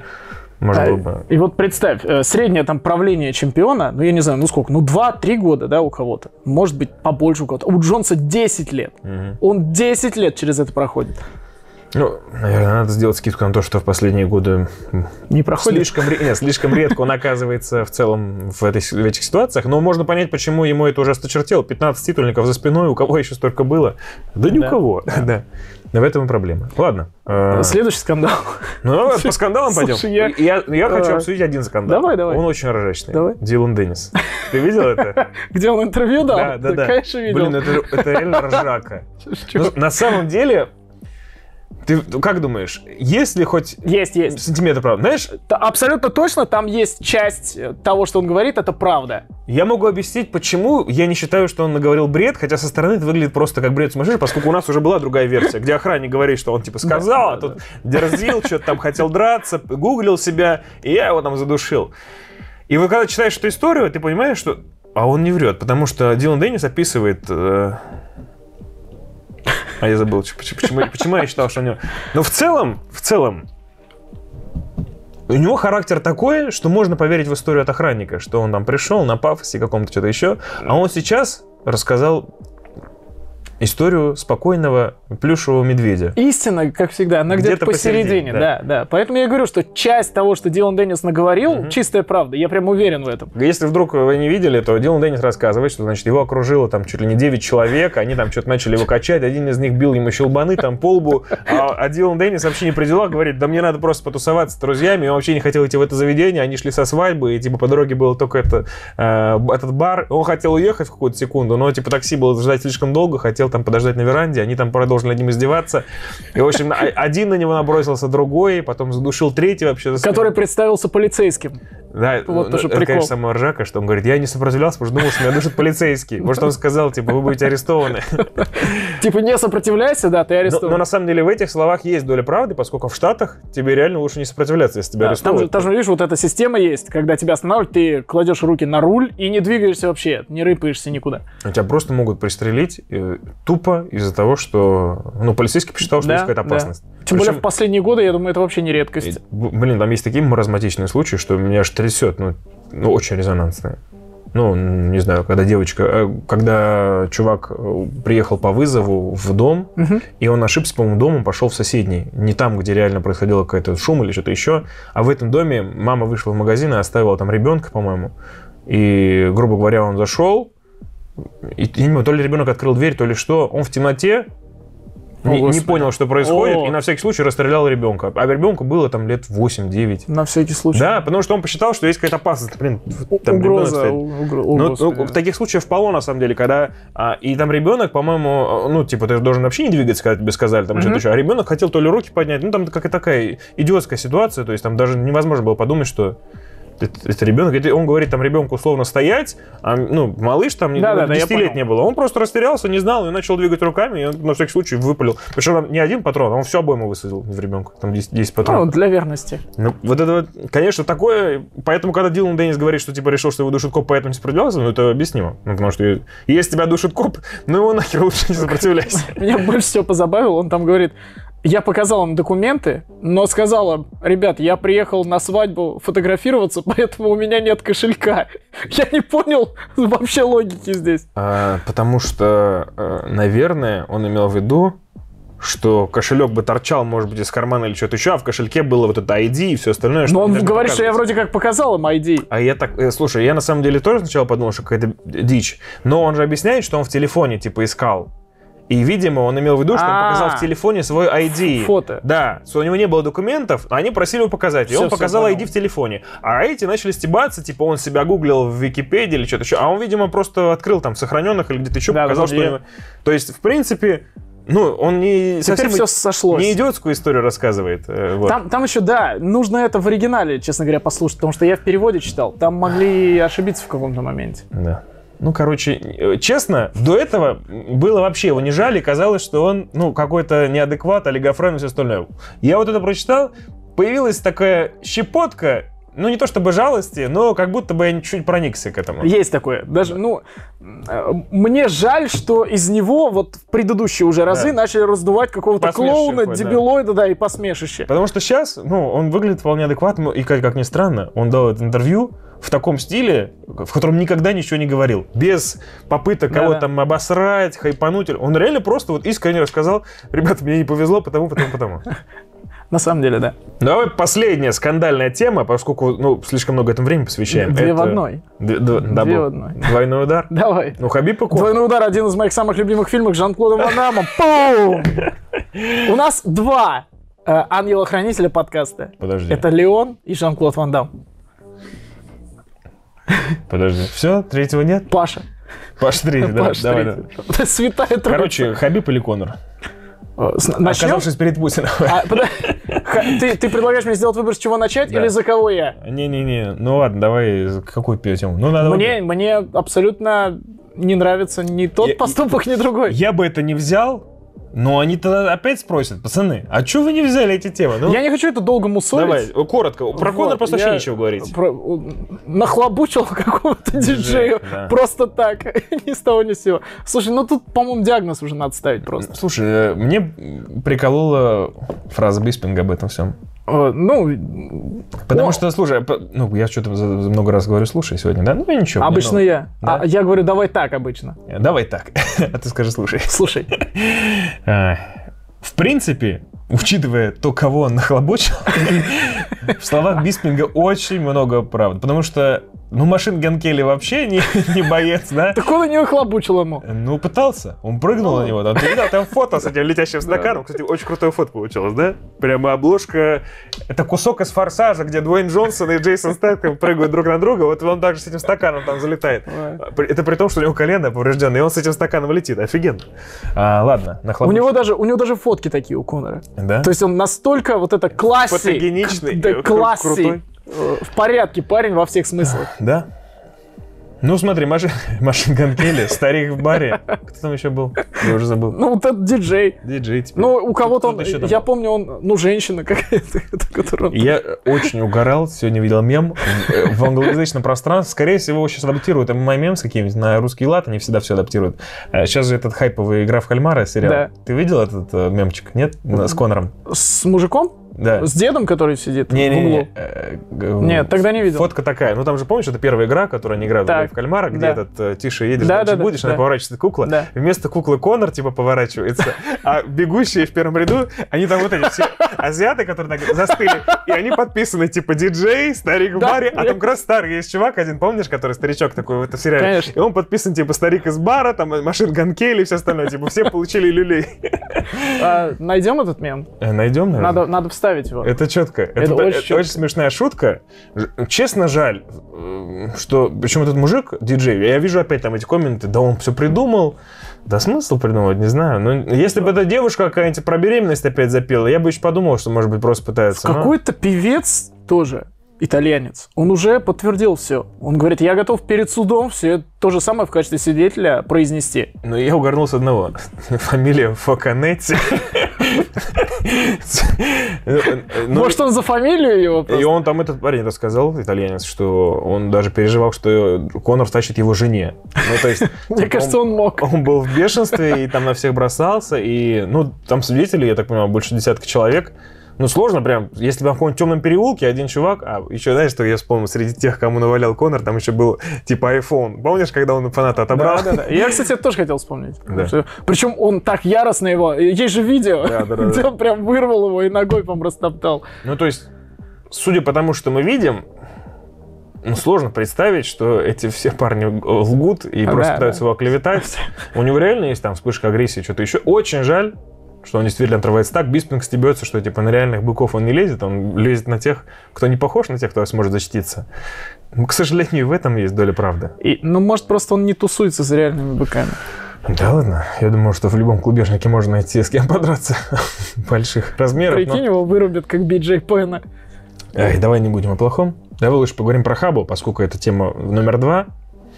А, Я предлагаю несколько минут, как про Конора. А, Две минуты. Давай. Давай. Я был очень разочарован. Э, Да, это грустно. И Ты, ты знаешь, самое хреновое, что я понимал, что он не хочет потроллить всех. Один, один в один то же самое, да. Он просто не понял, что плохого в том, что он это выложил. Вот это печально. У меня это сразу, ты когда это видишь, я так расстроился, у меня в первую секунду прямо типа грусть такая. И я понимаю, что это просто ну, шутка на актуальную повестку да, условно да. дня. И по его мнению, это реально прикольный троллинг. Если с какого-то угла посмотреть, тут можно поржать, но она настолько неуместная была. А фоне, а фоне, на фоне этой ситуации с метро отвратительная ситуация. Я очень рад, что через... И в эту в секунду, когда это увидел, у меня в голове есть понимание, там плюс э, пошли все сразу интервью, там Минаков, все остальные сказали, блин, ну же очевидно же, что он не пытался там, против там, российского общества пойти, типа, просто стебанулся и, наверное, не, до... не осознал, насколько это хреново смотрится с нашей части. Я очень расстроился. Но при этом ну, короче, у меня было понимание, что шутка дрянь просто страшная. На фоне вот этого, понимаешь, но в то же время я понимал, что Хабиб не тот, кто пытается там замочить. Да. Что он не русофоб там или что-то еще. Там это вообще совсем другая история. Как в Человеке-пауке, помнишь, это знаменитая фраза? С приходом большой силы приходит большая ответственность. Да. С Наверное... приходом 30 миллионов подписчиков приходит определенная ответственность. И, к сожалению, очень печально, что вокруг Хабиба, скорее всего, нет людей, которые могут ему подсказать, что так лучше не делать. Или, если они есть, он их, судя по всему, не слушает. Я думаю, что в его окружении абсолютно все со схожим мышлением, и никто не считал, что это неуместно. Мне понравилось его интервью. Вот на Спорт24 выходил mm-hmm. видос. Я посмотрел прямо целиком. Ну, он хорошо отвечал. Ну, то есть, он ну, нормально обосновал. Мне понравилось, что он именно там сам сказал своими словами, что он считает вот этих троих полными придурками, что, типа, это вообще как можно оправдать это зверство или посчитать это чем-то смешным. Ну, что он, в принципе, разъяснил то, что все считали ну, то, что я сам. На секунду какое-то опасение появилось, что типа, блин, неужели ты серьезно так думаешь? И я очень рад, что услышал от него, что ну, его мнение полностью противоположное и такое же, как у нас. Просто шутка, что называется, не в то время, не в том месте и не на ту тему, которую стоило. Ну, просто худшего момента для этой шутки да, да, даже да. и не придумать. Ну просто не будь этого момента, и шутки бы не было. Ну, тоже вот логично, в да. этом проблема тоже. Ну, я опять же, на Спорт24 в этом интервью там был момент, где он затронул Мурада. Мне, кстати, тоже понравилось. Это прям хорошо. Да, он он приходит прям с такими словами, он его замочил. Вот да. то, что надо, наверное. Мурат из мема с таксистом. Я много раз тоже говорил, что то, что он наговорил в том такси, это все разлетелось на мемы, и с некоторых мемов можно поржать. Но грустно от того, что да. чувак, который и сидел, и сейчас э, ну, буквально стал популярным за счет того, что просто кинул другого парня, работягу, простого паренька, который в 10 раз меньше него, не может не дать отпор, ничего, просто, типа, ну, навертел его на одном месте. Э, Ты и за... еще 17 минут вертел. И за счет этого стал суперзвездой, которого сейчас зовут во все поп мои промоушены, у которого там бой, не бой, который, э, в принципе, сейчас и, наверное, зарабатывать будет неплохо на, да, на, да. на фоне этих Мне кажется, ему Асхаб Тамаев за несколько роликов заплатил там, ну, хорошо заплатил, в общем. Больше, чем он мог легально заработать Наверняка. за все последние годы, да. Наверняка. И Хабиб, учитывая, что это его там условный соотечественник, ну, довольно жестко его судил, какого хера, типа, этот чувак сейчас пожинает полы, почему вы из него звезду делаете. Это хорошо. Классный посыл. Потому что я полностью согласен с тем, что можно поржать с этих слов, и они вошли в обиход уже всех, что типа, как там, э, ну, из цензурной хочу какие-нибудь вот цитаты привести, что... Я, я, я тебе офигенно сделал. Давай так. Я тебе круто сделал. Я тебе круто сделал. Вот. Это, конечно, или так надо было, брат. А как же эта фольклорная песня про Шамиль Смолян, которую послушали больше раз, чем вообще за всю историю? Ну, в общем, смешные моменты. Но жаль, что они прославляют парня, который, наверное, не заслужил вот этого всего славы. Слушай, давай, ладно, Все. ты лукавишь немножко. Сколько недель ты угорал над Мурадом? Нет, смотри, когда только ты это вышло, ты мне показал, да. я не улыбнулся ни разу. Так. И первую неделю я не ржал, вторую неделю не ржал, но потом у меня случилась очень обидная ситуация. Мы с Олегом приехали на комментировать наше дело. Я припарковал свою машину в нормальном месте, на нормальной парковке. Но она была новая, из-за этого она была без номеров. Ну, я только ее приобрел и еще не ставил на учет. Поэтому я мог парковаться на любой парковке в Москве. Она стояла по всем правилам. Мы пошли комментировать, и у нас с Олегом 10-часовой рабочий день. И ты не можешь там проконтролировать, что-то еще там особых пауз нет. И вот на секунду у нас там был какой-то перерыв на обед. Я вышел посмотреть просто на тачку. Типа, все ли нормально? Вышел, а ее нет. И я, мне так обидно было, и я не знал, как это описать. И в голову почему-то вот первый раз за все это время пришли фразы из этого, ну, матерные фразы от э, товарища Мурада. И вот в тот день они сыпались из моего рта в изобилии. Но я постарался ненадолго э, поддаться искушению э, говорить словами Мурада. Если бы за каждую эту фразу тебе давали рубль, Я бы хорошо мог- заработал. Ну, сотню тысяч, наверное, ты бы сделал за день. В тот день я был зол, и, и я хой, и все остальное, что там, шерсть, я того. В общем, это, это все очень уместно легло на фоне моей обиды, вот. но потом я очень быстро охладел и опять подумал, что нет, это должно осуждаться. Вот. Должно. Но было смешно. Было смешно. В тот день было уместно. Но в целом, конечно, дрянная дрянь. Дрянная дрянь. Конкурс. Подведем итоги конкурса. Самое время. Давай выберем победителя. Давай выберем. Ну, мы уже выбрали. Давай, Давай сначала отметим д- трех. Отметим трех. Трех давай. В смысле, у нас есть победитель, плюс А. еще два А, всё, да. комментария, которые, если бы не было победителя, то победителем стал бы кто-то из них. Да. Мы, к сожалению, ничего не можем им вручить, но мы их озвучим, потому что они классные. Я хочу, чтобы мы сначала отметили парня, который заставил поражаться больше всего давай. всех нас. Да, давай. Блин, хороший чувак, очень жаль, что не несколько призов. Дружище, вот только за то, что я поржал с тебя, я бы вручил тебе отдельный приз зрительской симпатии, но честно будет, если победит другой человек, которого мы выбрали. Так, ну что, э, это комментарий от, так, сложный никнейм, Титус Мигелиус. Да? Ты же про него говоришь? Титс Мигелиус. Да, это, это очень классный коммент. Значит, зачитываю. За турнирами по боям без правил я начал следить еще с 90-х годов. Тогда большинства из вас, молодых сосунков, еще и в планах-то не было. Затем пришел Федор и показал всему заграничью, что такое русский дух. Вот это был образец для подражания. Спокойный, мужественный, не то, что эти теперешние. Дальше пробел, такая пауза, пауза, пауза и продолжается. Примерно такими словами отвлекал меня мой батя, когда я смотрел второй бой в своей жизни Макгрегор Хабиб. Это очень хорошо. Это Прям класс. Учитывая, что сразу не видно этот комментарий, а вот это продолжение с самыми смешной частью, оно снизу после э, прочтения, у него там даже лайков толком нет. Это, Так потому что никто не открыл даже Да. читать дальше. А мы, Да. мы открываем. Все добросовестно. короче, Титус Мигелиус, зачет, поржали от души. Так, ну вторая история, давай, отец и сын. Да. Это трогательная э, история, поэтому респект. Значит, э, давайте посмотрим. Здравствуйте. В 2013 году отдал сына в Туле на рукопашный бой. В 2016 ездили с ним на первенство мира по рукопашному бою в Москву. Там в финалах билась наш второй тренер Инна Николаева Жданова и боец Роман Копылов. Бой с Романом Копыловым очень понравился. На соревнованиях присутствовал Рой Джонс. Было невероятно круто видеть Роя Джонса рядом. Всегда следил за его карьерой боями. Прошли годы. Мой сын в 14 лет стал настоящим воином-рукопашником. 67 золотых медалей, 3 серебряных, 2 бронзовых. Роман Копылов проиграл в UFC. Предстоит новый бой. Мы с сыном смотрим UFC с 17 года. Сын черпает знания, анализирует бои, растет как боец. Каждую субботу в ночь смотрим UFC TV. Ну и, конечно же, ваш подкаст. Ну, клево, да? Ну, на самом деле, мы не за последнюю фразу отмечаем, а ты прочитай имя этого человека. Игорь Чеканихин. Респект, Игорь, за вас, за сына, за то, что смотрите, увлекаетесь. И Более того, там даже на аватарке в превью видно, что что-то с соревнований, видимо, по рукопашке. То есть прямо true story, реально. Круто. Сыну большой привет. Если он смотрит, это тоже круто. В общем, ты красавчик. Это очень быстрое становление. Есть цель. Прямо понятно, к чему человек идет. Э, Бате респект за то, что растит такого э, воина. Так что, в общем... че- мне даже сейчас грустно, что не этот Да, человек знаешь, получает приз. Вот на, на этих словах, на этом фоне, да, я даже подумал, может быть, ему Нет, говорить, нет, мы Ну, выбрали, выбрали. мы выбрали втроем, мы выбирали честно. У нас было где-то 10 фаворитов, из которых мы уже окончательно потом выбирали победителей. И без обид мы выбрали... Вот мы сошлись единогласно, что победитель должен быть победителем. Игорь, прости, ты красавчик, твой сын красавчик, победитель чуть-чуть другой, и у него, у него очень классная история, с которой, ну, она даже кажется какой-то невероятной. Ну, типа, неужели такое возможно? Да. Но мы и- поверили. И, мы не можем проверить. Поэтому пусть все будет на совести человека с именем...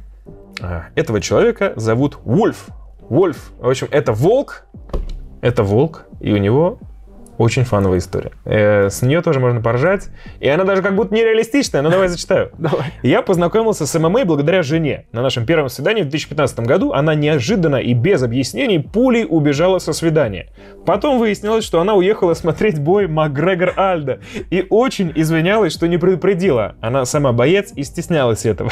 Теперь я главный фанат этого спорта, и это семейная традиция смотреть суперкарды UFC в спортбарах. Интересно, жена выступает где-нибудь? Мне интересно Ну, прям. Учитывая, что она боец, вполне может быть. И Или выступала, судя- и выступает. Я так понимаю, что бой-то был утром, прям рано утром, типа в 7-8 часов. Если она убежала, то это, наверное, не московское время. И Я надеюсь, что она не из постели убежала. Это было вообще обидно. А, не будем затрагивать Скорее всего, они живут где-то им, наверное, восточнее. обидно, что мы сейчас говорим про постель. Сибирь, и Дальний Восток, наверное. Я надеюсь, что он сможет приехать.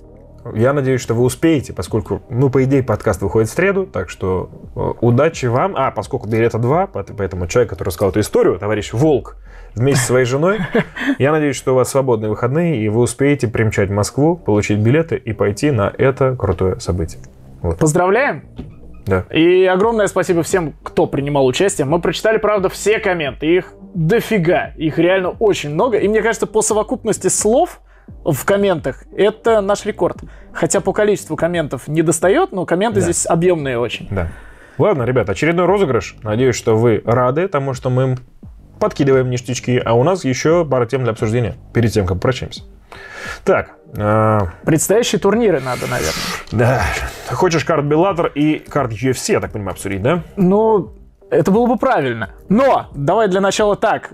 Оба говорим бой, который стоит посмотреть людям. Наша рубрика но- новая. Ну, новая, которая уже два предыдущих подкаста была введена как? Да. Давай, твоя очередь. Э, Просто говорил ты, потом говорил я, теперь мы оба скажем. Я просто Да? придумал Ты бой. уже выбрал? Я выбрал. А я еще. Я ехал сегодня. Давай, пока ты будешь говорить, я решу. Давай. Э, Я не знаю почему, но в преддверии боя Федора Емельяненко О, это будет оригинальный выбор, потому что все э, трехметровый кореец, Мирка Кракоп, э, Нагейра, э, Рэндалман, все рекомендуют Рэндалман. вот это. Рэндалман, да? Марк Колман, несколько Да. боев у него было с Марком Колманом. Я рекомендую другой. Я рекомендую бой против Бретта Роджерса. Мгм. Почему? Потому что это один из последних боев э, Федора в его серии фантастической, беспроигрышной. И это бой, где Федор Емельяненко уже начал напоминать человека, обычного земного, а не непобедимого монстра, э, которого, ну, неуязвимый фактически он был до этого. И посмотрите этот бой, там пришлось пройти через сложности, и серьезные сложности. Тем более Брэд Роджерс, это был такой шиномонтажник здоровенный из Миннесоты, на тот момент непобежденный и чуть ли не главный американский проспект в тяжелом весе. Так что это сейчас, если вы посмотрите на рекорд Бретта Роджерса, это мешок, который всем подряд проигрывал. Раньше такого не было. И на момент боя с Федором это прям был супер мощный чел, который вырубал вообще просто всех. Так, ну и от меня нужен какой-то бой. Твой Желательно, хороший. Твой желательно. хороший. Ну, у меня, знаешь, я не, так, не такой ол- олдскульный, как ты посоветую. Я выберу бой, который случился уже, наверное, более пяти лет назад. Ну, поэтому, судя по нашим комментариям, э, большинство все-таки смотрит 2-3 года как. Вот этот более короткий промежуток. Поэтому, наверное, пятилетней давности тоже пойдет в зачет. Я люблю бой Тони Фергюсон Лэнда Ваната. Почему ты ну, его он, любишь? он не боль, он небольшой, он там, ну, раунда полтора, наверное, пролился, да. А, но я люблю за то, что Тони Фергюсон был таки, такой кремень, опасный убийца, киллер просто в дивизионе, кровавое месиво. Прямо перед этим бой с Барбозой, что вообще бы происходило, кстати, тоже хороший бой, можете его посмотреть. И потом он выходит против парня-дебютанта на коротком уведомлении, который, э, Там, по-моему, Ну- слетел у него. Я, я точно не помню. Скорее всего, Кьеза нас летел. И недель, меньше недельного уведомления Да, было да, у Ваната, да, и точно. Ваната шел, ну, непонятным парнем из другой лиги с рекорда, по-моему, 7-0, или что-то восьмой, что ли, бой был, или седьмой профессиональный бой против Тони Фергюсона. И все смотрели на это как Господи, этого ягненка ведут просто убивать. К такому убийце просто привели мальчика с пальчика, который он еще и маленький по росту, по размерам, не атлетичный, э, худенький, непонятный. Ну да, у него хороший рекорд, там 6-0 или 7-0, но при этом он выходит против а, реального топа легкого веса UFC. С у которого серией победной. Серии побед только после Барбозы, и все такие... Это, ну, типа, за сколько секунд Тони Фергюсона превратит его в мешок? э, э, в мешок, в котором лежит труп, знаешь, э, ну как, запечатывают же эти мешки, в Я думаю, что сразу все поняли уже.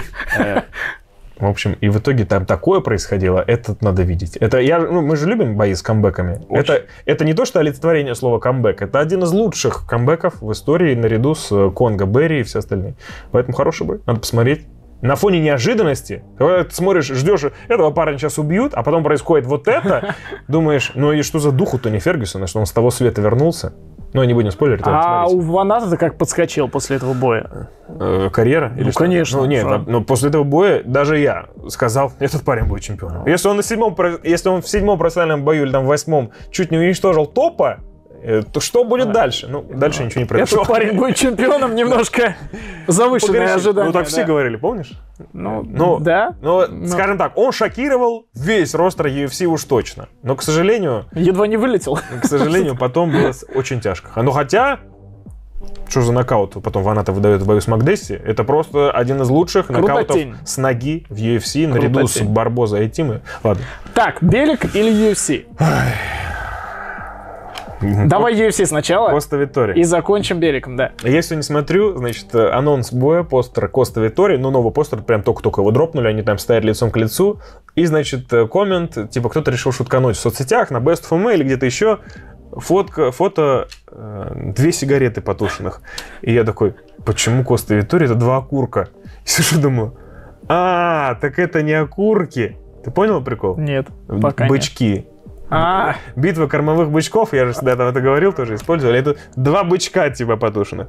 Ну, короче, вроде смешно, вроде нет, но мне понравилось, что пришлось додумать чуть-чуть. Вот. Я думаю, ну, не окурки. я посмотрел разбор этого боя от Израиля Адесани на его YouTube-канале. Так, И, А в общем, он говорит, два нахимиченных чувака, так. две, говорит, моих, два моих сына. Мгм. Я, говорит, естественно, желаю удачи обоим. Но э, он разобрал технику одного, слабые и сильные стороны одного другого, и склоняется к тому, что все-таки Пауло Коста победит. Я очень удивлен, кстати, что Адесанья, у которого бой с Костой сложился, ну просто как Легко, да. просто по щелчку пальца, да, а с Виторией было два боя, ну, я бы не сказал, что они прям близкие, честно. Ну, давай так, они в 10 раз более близкие, чем бой Адесания Коста. Ну да. Причем оба. Ну, вы учитываете, что Коста был все-таки пьяный. А не побежденный, э, трезвый Коста пока еще не побежденный. Справедливо. Вот. Поэтому здесь очень сложно сравнивать. Просто разные уровни, понимаешь? Пьяным так себе драться, наверное. Мы не знаем, выйдет ли он трезвый на этой Ну неделе, понимаешь? Так что... Если выйдет... Вот, очень многое зависит от этого. И я думаю, что букмекеры, они же видят фаворитом Виттори, и для многих это неожиданность. И мне каж- кажется, просто букмекеры, они закладывают определенный процент вероятности на то, что Коста все-таки выйдет под винишком. Ну, шутки в сторону. Для тебя кто фаворит? Да, Витория. Витория фаворит. Почему? Мы до сих пор не знаем, что с борьбой у Косты. А мы отлично знаем, что с борьбой у Витории. И это такой фактор, который может поменять все в одну секунду, потому что ну, во всех боях Марвина Витории, если у соперника были проблемы защиты от тейкдаунов, этому сопернику было хреново. Причем независимо от того, кто это был. Джитсер это там ударник или кто-то. Если ты не умеешь защищаться от перевода в партер, скорее всего, этот парень тебя туда запрессует. Плюс, вот тут, конечно, удивительный момент с ударкой, да, что э, ты про Адесанию говорил, но ведь Адесанья ведь сам же удивился ударке Витории в прошлый раз. Он же сам говорил после боя, что э, неожиданно ну, его ударная техника стала для меня, ну не то чтобы сюрпризом, но я не ожидал, что она будет такой. Ну, что мне кажется, он просто изначально ожидал полного дерьма. полный, Пол- полный ноль, да, да, да. Но при этом у Витории удары получалось доносить. Ну, я не говорю, что он там расколотматил, но мы видели, как Марвин Витори попадает. Мы не видели, Ты как про хаммерфисты по бедру? Кстати, Адесанья прикольно посмеялся над этим, да. И он в концовке, ну, не знаю, это было забавно, вызвало улыбку. В концовке ролика, посмотрите, если кто не смотрел, там пришел какой-то чел и говорит, я принес результаты теста ДНК, и типа, да, вы отец этого чувака. Там, я Ну, не помню, они- про Косту или про Добавь. Виторию это было. Ну, По-моему, про. Про Косту, Учитывая да. изнасилование А, да, да, да. Это же к этому отсылка. Все, да, да, все правильно, да. Жопа Косты. Ладно, сейчас все шутки про то, что его не было год. Странно, что не 9 месяцев. Да, ну, в общем.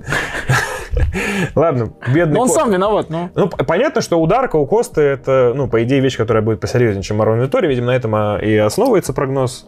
Адесани. Но, конечно, и ты сейчас э, стали очень активно вирусить видос, причем он не новый, ему уже, я так понимаю, годик, может, Мгм. больше. Это где Коста борется с Логаном Полом. А, это, И- да, я видел. И Логан Пол швыряет Паулу Коста. Ну, Логан хороший борец. да, да, причем он- Правда. То есть э, все говорят, что и Логан, и Джейк борцы, но Логан борец-борец. То есть он выступал на чемпионатах штата, есть вся заку- по-моему, он Он чемпион штата Огайо. Ну, очень, может, ну это хороший уровень. Ну да. То есть, И а Джейк, В комментах, конечно, ржут, что чемпионом штата Огайо это не тот штат, в котором очень сложно стать чемпионом по борьбе, но это в любом случае круто. ну конечно, Да. да. Тем И более, он, кстати, в, в первом дивизионе выступал. а, да? Да. Окей. Ну, Просто то про Джейка задокументирован, задокументированной истории об его выступлениях в борьбе этого нет. То есть- он явно ходил, как и брат их вдвоем. Да, э, но просто. это но, но- как- но он явно не был э, на таком уровне, наверное, как Логан. То есть, типа, а, Логан, ты куда? Я на борьбу. О, я тоже пойду. Походил два месяца, ничего не выиграл, зато потом говорит, я занимался борьбой. Вот история могла быть точно такой же. Логан это другой совершенно уровень, это хороший уровень. Поэтому ничего удивительного на самом деле. То есть уровень Паулу Косты это примерно чемпионат Агая. Ну, в общем, не знаю, но в, в целом все равно это бросает склон. Ну, там, конечно, не все так плохо было у Коста, но сам факт, что по большому счету, ну ладно, он все-таки боролся типа с борцом. Ну, Марвин Витори, ты же говоришь, тоже борец. Марвин Тори боец, э, который сейчас борец, а Логан Пол-то был борцом 10 лет назад или сколько там? Агая. Ладно, Слушай, ну, короче, есть, да, тут куча нюансов. Э, Например, мне не нравится, все называют почему-то Марвина Виттори кардиомашиной. Нет такого. ну, в пяти Он- раундах он устает под конец. да? Он здоровый бык, и вы, если посмотреть его бои, заметно, что он экономит силы. Ну То да. есть он... Почему у него нет досрочных э, финишей много? Потому что он не вкладывается в удары в партере, потому что он не старается бороться так, чтобы выйти в какую-то активную позицию, опасную, там, задушить и так далее. Он достаточно редко все это происходит. У него есть контроль.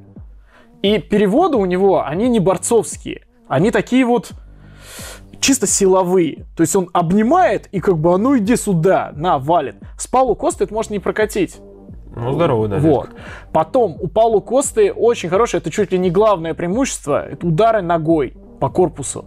И в левшу они заходят прям как пить дать. Марвин Витори как раз в правосторонней стойке, то есть стойке левши, работает гораздо больше, чем в противоположной. То есть он левша. И он может вполне несколькими ударами выбить весь дух и всю спесь сбить с Марвина Витори уже в первом раунде. Так что здесь куча нюансов на самом деле. Э, При этом, что с кардио у Паулу Косты, кто знает, вообще никто На, не на три раунда его И хватает. это только с Ромеро. Ну да. Да, а в остальных боях он заканчивал, не было. да, он Ему заканчивал в не первом и во втором. Против э, Юрая Холла у него были проблемы. Холл его джебом вообще нормально обстреливал. Да, да, хорошо, что держался, причем. Но, понимаешь, Холл хорошо держался один раунд, а потом Пауло Ну да. Коста ему дал понять, что хорош. И, Пожалуй, пора и мне завестись. Но мне кажется, что Паулу Коста, сейчас последняя мысль, Да-да. я тебя, он переоценен. Он реально бил людей, которые не позволяют выходить на чемпионский уровень, за исключением, наверное, Юэля Ромеро. Это, ну, это прям, если брать этот бой за лакмусовую бумажку, это достойно прям. Мгм. То есть он прям с ним рубился, он не устал, он доносил удар, он пропускал удары и стоял на ногах, и дыхалка, все у него выдержало. Но там не было борьбы. Я помню, по-моему, один раз Ромеро попытался с ним По- побороться, но Ромеро не борется сейчас. В ММА он не борется. То есть ему это не нужно. Если Витори будет бороть, сколько выдержит Паулу Коста, тоже вопрос. То есть в этом поединке столько неизвестных, что, ну, я просто не знаю, я вообще не советовал на него деньги ставить. Может быть, можно копейку там кинуть на то, что бой будет больше трех раундов, например. В этом я уверен почему-то. В защиту Павла Косты, скажу, ты вот говоришь про неизведанное кардио, все-таки бой с Ромеро — это бой, от которого можно отталкиваться в плане его выносливости по одной причине. Это не бой типа Родригес Дерн и не бой типа Сантос Уокер. Это супер энергозатратный бой, где ты пропускаешь удары в корпус и в голову постоянно, ты доносишь сам удары в корпус и в голову постоянно, и самое э, жесткое в истории Паула Коста это то, что он не работает на очки вообще. У него каждый удар — это удар, который он хочет, чтобы это был последний удар в бою. Поэтому то, как он разряжается в того же Ромеро три раунда подряд, там, любой стоп-кадр возьми, ты офигеешь с того, как напряжено у него все тело, Да. ве- вены выступают из бицепсов, из шеи, из на лбу. То есть э, у него нет экономного режима, как у, там, условно, Марона Витори, который, ну, в стиле не Колби Ковингтона, конечно, но вот так у них там есть что-то общее. Если брать Колби Ковингтона до, допустим, Робби Лоулера, вот те времена, когда он чуть-чуть набросил, все пошел, чуть-чуть набросил, сблиз... Они работают так, типа, из серии «Я в касание поработал, чуть накинул, прикрыл, спрятал тайкдаун, пошел, пошел бороться». А если это сейчас вот они в последних боях стали, типа, зацените, мы уже универсальные спортсмены. А у, у Коста такого нет. У Косты я пытаюсь снести твою бошку нахрен на пер, первым же ударом в бою. Вот. И поэтому, если он пытался 15 минут подряд вкладываться в каждый удар, и ему никто не искал кислородные баллоны, как в случае с Исмаиловым или Ромеро, да? э, Исмаилов это, новый Энган, да? Ну, жаль его, кстати, особенно учитывая, как он провел два раунда. Ну, мне не особо жаль. Ну, а что жалеть-то его? Не, имею в виду... Э, Посмотри на его гонорар, и а, жаль будет тебя. жаль будет меня. Директор подкаста. Это Рик я, по-моему, уже использовал, да, в наш подкаст? Кого? Росса. А. Что, типа, пока вы смеетесь над тем, как выглядит Рик Росс, он смеется над вашим банковским счетом. То же самое можно сказать под Магомедом Исмаиловым. Ай, короче, поэтому, в принципе, э, мне до сих пор кажется, что Коста не сказал свое последнее слово. И опрометчиво будет судить его только по последнему бою с Адесани, поскольку даже с тем же Холлом это все-таки бой, в котором у тебя на старте поединка уже проблемы, и ты можешь сломаться ментально, поскольку ты идешь к сопернику, и бам-бам, бам-бам, тебе в голову прилетает. Я даже тогда подумал, что э, другой чувак, кто будет ну, более сдержанным, кто подольше сможет накидывать удары может, бьет потяжелее, чем Холл, он, скорее всего, подкинет еще больше проблем Павлу Кости. Но проблем, в принципе, у Коста не было нигде, кроме как с Адесани, поскольку даже того же Холла, который вот классно начал, он просто перемолол. Он пропускал весь весь первый раунд, на второй вышел и просто сожрал его своим давлением. Он, типа, знаешь, продолжай бить, я буду делать вид, что ничего не происходит, и продолжите вперед как танк. Это, ну, это определенная закал какая-то, и, не знаю, не каждый он такой способен.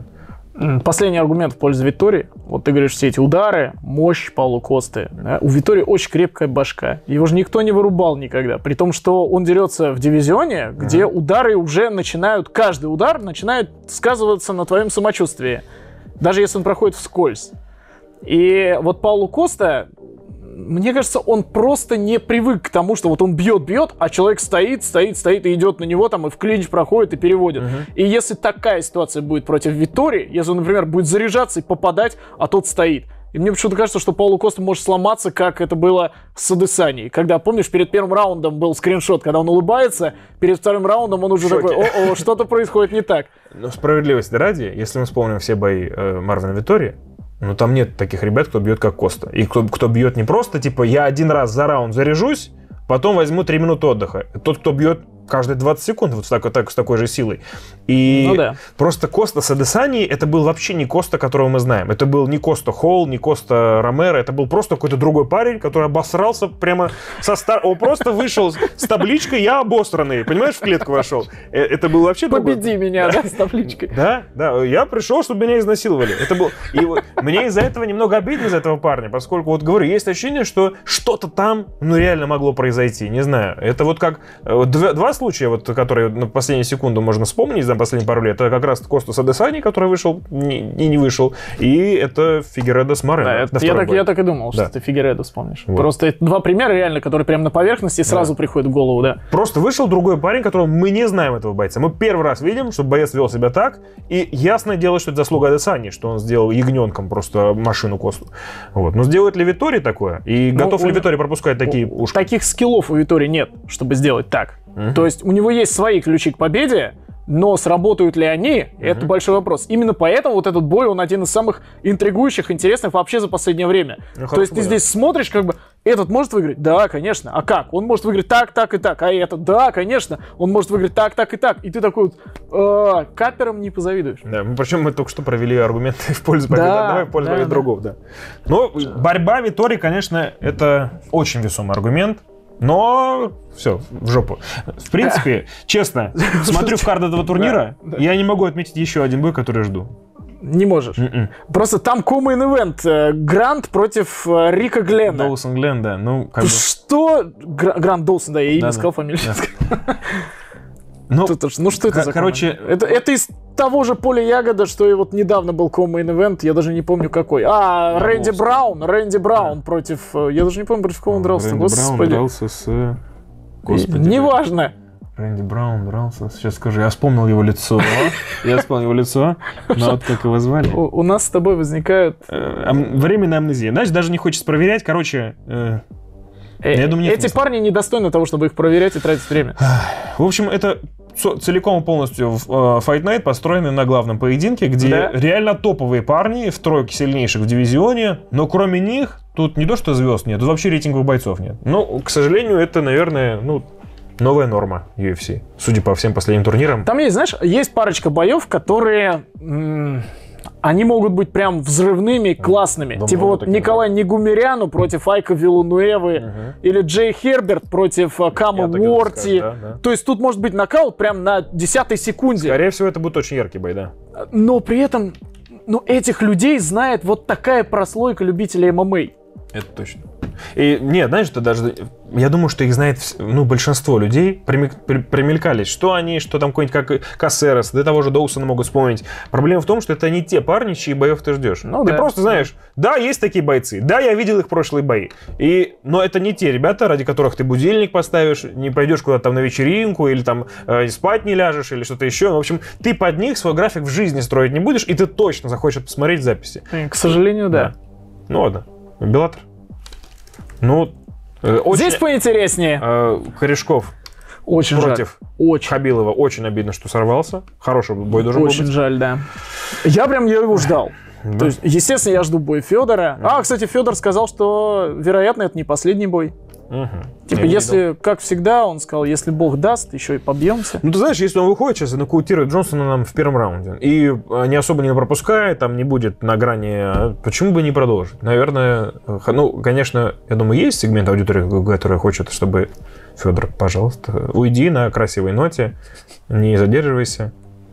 А в целом, и, слушай, если он побеждает чувака из топ-2 дивизиона, он становится участником титульной гонки. С этого или не молдавским он драться не будет. Да. А, Слушай, а, кстати, вот, например, А вдруг молдавский скажет, хочу старшего припустить вперед. а, Ну, а мне кажется, молдавский может победить Бейдера и реванш Федора и Бейдера тогда. В качестве последнего боя. А ты бы хотел, чтобы Федор задержался еще на один бой при условии хорошей Слушай, победы? честно, мне уже наплевать. При всем уважении к Федору, он э, волен делать все, что он хочет. Мне бы хотелось, чтобы он закончил тогда, когда он реально закончил. И уже не возвращался. после когда он... трех поражений. Нет. Потом был Молсон, Молсон, после э. Педро Ризо, Сатоси Ис- Иси, Иши, не помню, как правильно. И потом вот он ушел. И Мгм. вроде как закончил Я я навсегда. запутался. А потом вернулся в Райзен уже. Но это уже э, новое поколение. Вот с это непонятное возвращение, я, оно непонятно мне. То есть, если бы я был на его месте и в той же ситуации, в которой был Федор Емельяненко, может быть, я тоже посчитал бы, что надо возвращаться.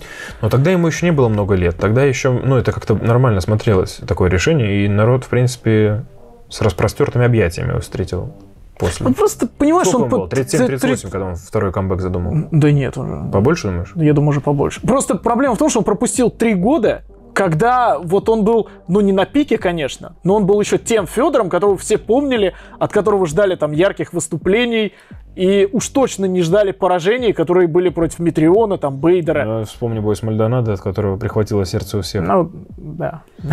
Э, Слушай, это 15 год, когда он вернулся в Райзен. Это ему, сколько, это 6 лет назад, ему было 39. 39, да. А, ну, ну, Ну, да, так что 30. много. ну да, в принципе. Ну, то есть, э, учитывая тяжей, которые сейчас там в 42 неплохие бои закатывают, тот же Аверим там какой-нибудь, да, то не так уж и странно это смотрел. Просто вот если бы он закончил тогда, мне было бы жаль, что я не досмотрел Федора. Наверное, все-таки какие-то бои он еще мог проводить громкие, побеждать, ярко побеждать. А вот потом, когда он вернулся, ну, пожалуйста, э, продвигай свою команду, популяризируй спорт, зарабатывай деньги. В принципе, он все это и делает. И команда отлично растет. Видишь, Да, сколько да, да. претендентов во всех дивизионах. Чемпион временно уже есть, чемпионов в полутяжелом весе есть, претендент в среднем весе есть. Ну, классно растут ребята. Так что это же его пацан. Ну, даже вот смотри, ему сколько, 45 лет сейчас. Да. Он дерется против Джонсона, который в а, Топ-два, двойке, двойке да. рейтинга. Топ-2, да. И при этом он фаворит, Федор. И очень многие ждут, что он реально победит. Знаешь, я думаю, что в любом бою Федор будет считаться фаворитом. На этом можно было даже сыграть несколько раз. Ты бы на кого деньги зарядил? Ты Ни, ни на кого Не не, стал бы специально? Э, Очень много вариантов, э, которые здесь могут быть. Федор победит нокаутом в первом раунде? Да. Э, Джонсон победит решением? Да. Джонсон победит нокаутом? Да. Федор победит, там, я не знаю, Блин, решение вот я не особо верю, что Не-не-не. Федор победит. Мне кажется, что его уже не хватит. Ей просто не дум- хватит. Я думаю, что просто вот, ну, все его бои это бои быстрые. После Мальдонада не было ни одного решения. А, нет, с Сонином было, да? Нет. Нет, Нет, Соня не, тоже был не, не, финиш. там все быстро было. В Значит, раунде. Мальдонадо последний бой с решением в его карьере. Да, У него, в принципе, решений-то мало очень было в карьере. Ну ладно. Э, Так, ну а твой фаворит кто? В этой паре? Я боюсь. Боюсь что-то говорить. Да, на самом деле, вот и я. Я бы сказал, что Федор. Ты знаешь, Ну, я да- понимаю. Давай так, учитывая коэффициенты, наверное, 2,3 и Тимоти Джонсон это хороший вариант. Ну, наверное, да. Да. Справедливости ради, учитывая то, что ну, только что он шел на серии из трех побед и проиграл только временному чемпу, громили из команды Федора, который ну, реально шел к этому чемпионству, и было понятно, что у Молдавска очень хорошие перспективы. Ну, Но скорее всего, этом- такой дядька может победить. Понимаешь, при этом его роняли Джуниор Альбини, а. Чейх Конга его побеждал нокаутом. Там наверняка можем вспомнить и еще, кто побеждал Тимоти Джонсона. Ну и бои у него такие, если честно. То есть, типа, я тебя прижму своим пузом к сетке и буду держать, пока ты не выдохнешься. Ну, Кто дум- не выдыхается, тот побеждает. Как Думаю, что это первый раунд, финиш. Ну, просто от кого? И того и другого. может Ну быть. да, может быть, может быть. Ну, ладно, на самом деле. Э, ты здесь- Токов, Минаков, кого-нибудь еще захватим? Минакову не повезло, он должен был драться с Форчуном. Да, хороший Это бой. очень классный был бы бой. и- Автоматически тоже в претендентскую какую-то гонку там Да, титульно да. попадает с таким поединком. Тем более Минаков дерется раз в пятилетку теперь, и, к сожалению, тоже его пиковые годы проходят. Вот за него мне вообще обидно, потому Вот что он потерял... Один из нереализованных. Да, и причем это просто нереальный какой-то талант. И сейчас тоже он уже не на пике, непонятно вообще, что им движет, какая у него мотивация, чем он хочет реально заниматься. Прошлый бой был такой. обидный, вот, да. да, обидно. Потом Корешков слетел. Если бы остался Корешков Хабилов в этом карде, это прям было бы Шикарный волшебно, охренительно просто было бы. Сейчас тоже круто, потому что Токов есть против Давлатмуродова. А причем, я, насколько помню, они вообще в хороших отношениях. И просто так получилось, что предложили подраться, ну давайте. Мгм. Это и для Давлатмуродова очень хороший бой, потому что это main card, это Токов, который один из претендентов на пояс в среднем весе. И нужно себя сразу в первом же бою Показать. в Bellator, себя нужно показывать. Это да. И при этом для Токова тоже. Ну, он мог вообще не подраться в Москве. Но ему очень важно было вообще вернуться. Да, Вот, поэтому хорошо, что Токов согласился на любой бой, учитывая то, что он и так обсуждался как вот тот, кто вот-вот должен уже с Мусаси драться, Да. а потом вот вышли рейтинги, а его там вообще нет, как и Федора, кстати, да, и получается, что и простой на них плохо, плохо повлиял, потому что их уже не могут продвигать, как каких-то ребят в титульной гонке, их вообще в рейтингах нет, и визы, и не визы, в общем, сплошь проблемы. То, кого любой соперник сейчас бы подошел, вообще вот пальцем ткни, ему нужно было почувствовать вкус победы, вернуться в гонку, потому что с этой победой он точно окажется в топ-5 там, может быть, каким ну, я думаю, его поднимут высоко, независимо от... э, Да должны уровня. поднять, да, конечно. Да я Да. думаю, в тройку даже должны Токова поднять. Ну и самое логичное, если он сейчас хорошо побеждает, то он просто должен дождаться сейчас победителя пары Мусаси и Вандерфорд. И точно должен получить этот бой. Ну дай бог. Да. Потому что круто было бы, если еще один наш подерется за пояс. Тем более Токов заслуживает. Он, он прям 29-2 рекорд, при том, что он бил очень серьезных людей. Ну а Давлатмуродов, если победит Токова, ну ему титульник пока не дадут все равно.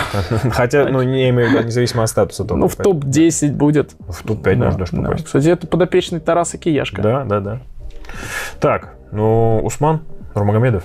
Ну, Кто-то считает вообще самый талантливый из Нурмагомедовых. так говорят Хавьер Мендес там и многие другие, что в династии Нурмагомедовых один из самых крутых, а, ну, скажем так, один из тех, в ком заложено больше всего генетикой там, и всем остальным. А ну, как мы знаем, когда талант соединяется с э, пахотой, и это получается универсальный солдат. Ну, Но посмотрим. иногда не соединяется. Ну, посмотрим. Просто у него и здесь соперник, э, ну, мешковатый, если честно. Поэтому, что умеет Усман Нурмагомедов, реально, сейчас еще пока не видели. Те, кто не следит за ним на тренировках, например, Ага. они и не знают. Ты видишь, э, ну, сложно осуждать его соперников, поскольку он еще не на том уровне, чтобы требовать ребятам из топ-3. Он только пришел, только разогревается. Ну, блин, ну, Нормально, что ему будут Опять давать. же, вот этот фин. Ты сразу сказал топ-3. Есть как бы и топ-10, Ну, и не, топ-20, а этот фин, боюсь, даже в топ-20 не Не, входит. согласись, все равно. На его уровне карьеры это нормально, что он бьется с таким соперником. Посма- Ненормально, когда Майкл Пейдж бьется с такими же соперниками, знаешь? Вот это ненормально. У них, а у них рекорд почти сопоставим. Ай, ну, участник титульной гонки не должен отбиваться с парнями, которые... ну, Ладно, Ладно. Про прилимы, наверное, не будем, да? Ну там... Там очень много просто ребят. Неизвестно. Дарин Маздюк, Кирилл Сидельник, Дарина Маздюк, кстати. Гаджи Рабаданов. Про это можно поговорить. Дарину Маздюк, Еще один наконец-то. Токов, кстати. Наконец-то дебют Дарины. Ну, если вообще взглянуть на прилимы, около 10 или даже больше бойцов, представляющих Россию, СНГ, там есть за кого притопить, поболеть. В общем, ну, помимо Сидельникова, второго Токова, той же самой Майздюк еще есть. Ну, очень много э, ребят. Посмотрите обязательно сами. Может быть, и найдете какие-то открытия для себя. А тот, кто пойдет на турнир, э, победив в нашем конкурсе, сможет вообще все бои посмотреть. Прилимы там жирные, толстые. В общем, хороший турнир, рассчитанный чисто под нашего зрителя. Слушай, на всякий случай скажем тому, кто выиграл билеты, нужен либо ПЦР-тест, либо справка о вакцинации, Там QR-код, да? да. Либо, если ты болел в последние там несколько месяцев, нужно тоже подтверждение того, что у тебя есть антитела. Да? На всякий случай. Да. А, ну и мы не сказали, как связаться с кем? С тобой, Со мной, думаешь? конечно. А там какие билеты? Ты в курсе? Электронные какие-то? Электронные. А, ну, слава богу. Ну, тогда победитель этого конкурса должен написать мне в личку в Инстаграме, и мы с ним о чем-нибудь договоримся. Вот. Мы сегодня, к сожалению, не будем отвечать на вопрос подписчиков. Нас просто выгоняют из студии. Мы и так сегодня попозже записываемся. Очень надеемся, что этот подкаст вы увидите уже в среду. Но, если что, все вопросы к Паше. Можете хейтить его, если он не вышел в среду. Можете писать ему гневные комментарии, типа Паша, что Чтоб ты был счастлив. Красавчик, мы И- тебя обожаем. Важно. Те, кто писал вопросы не по конкурсу, а чисто вопросы к этому выпуску, продублируйте их, пожалуйста, под нынешним видео потому что мы обязательно в следующем подкасте на них ответим. Да, чуть не хватило нам сегодня, чтобы пробежаться по этой вашей любимой рубрике. Так что следующее, мы там отыграемся и сразу за два выпуска. Вот. Так что с вами были я, он, он и Пашка. Спасибо, ребят. До новых встреч.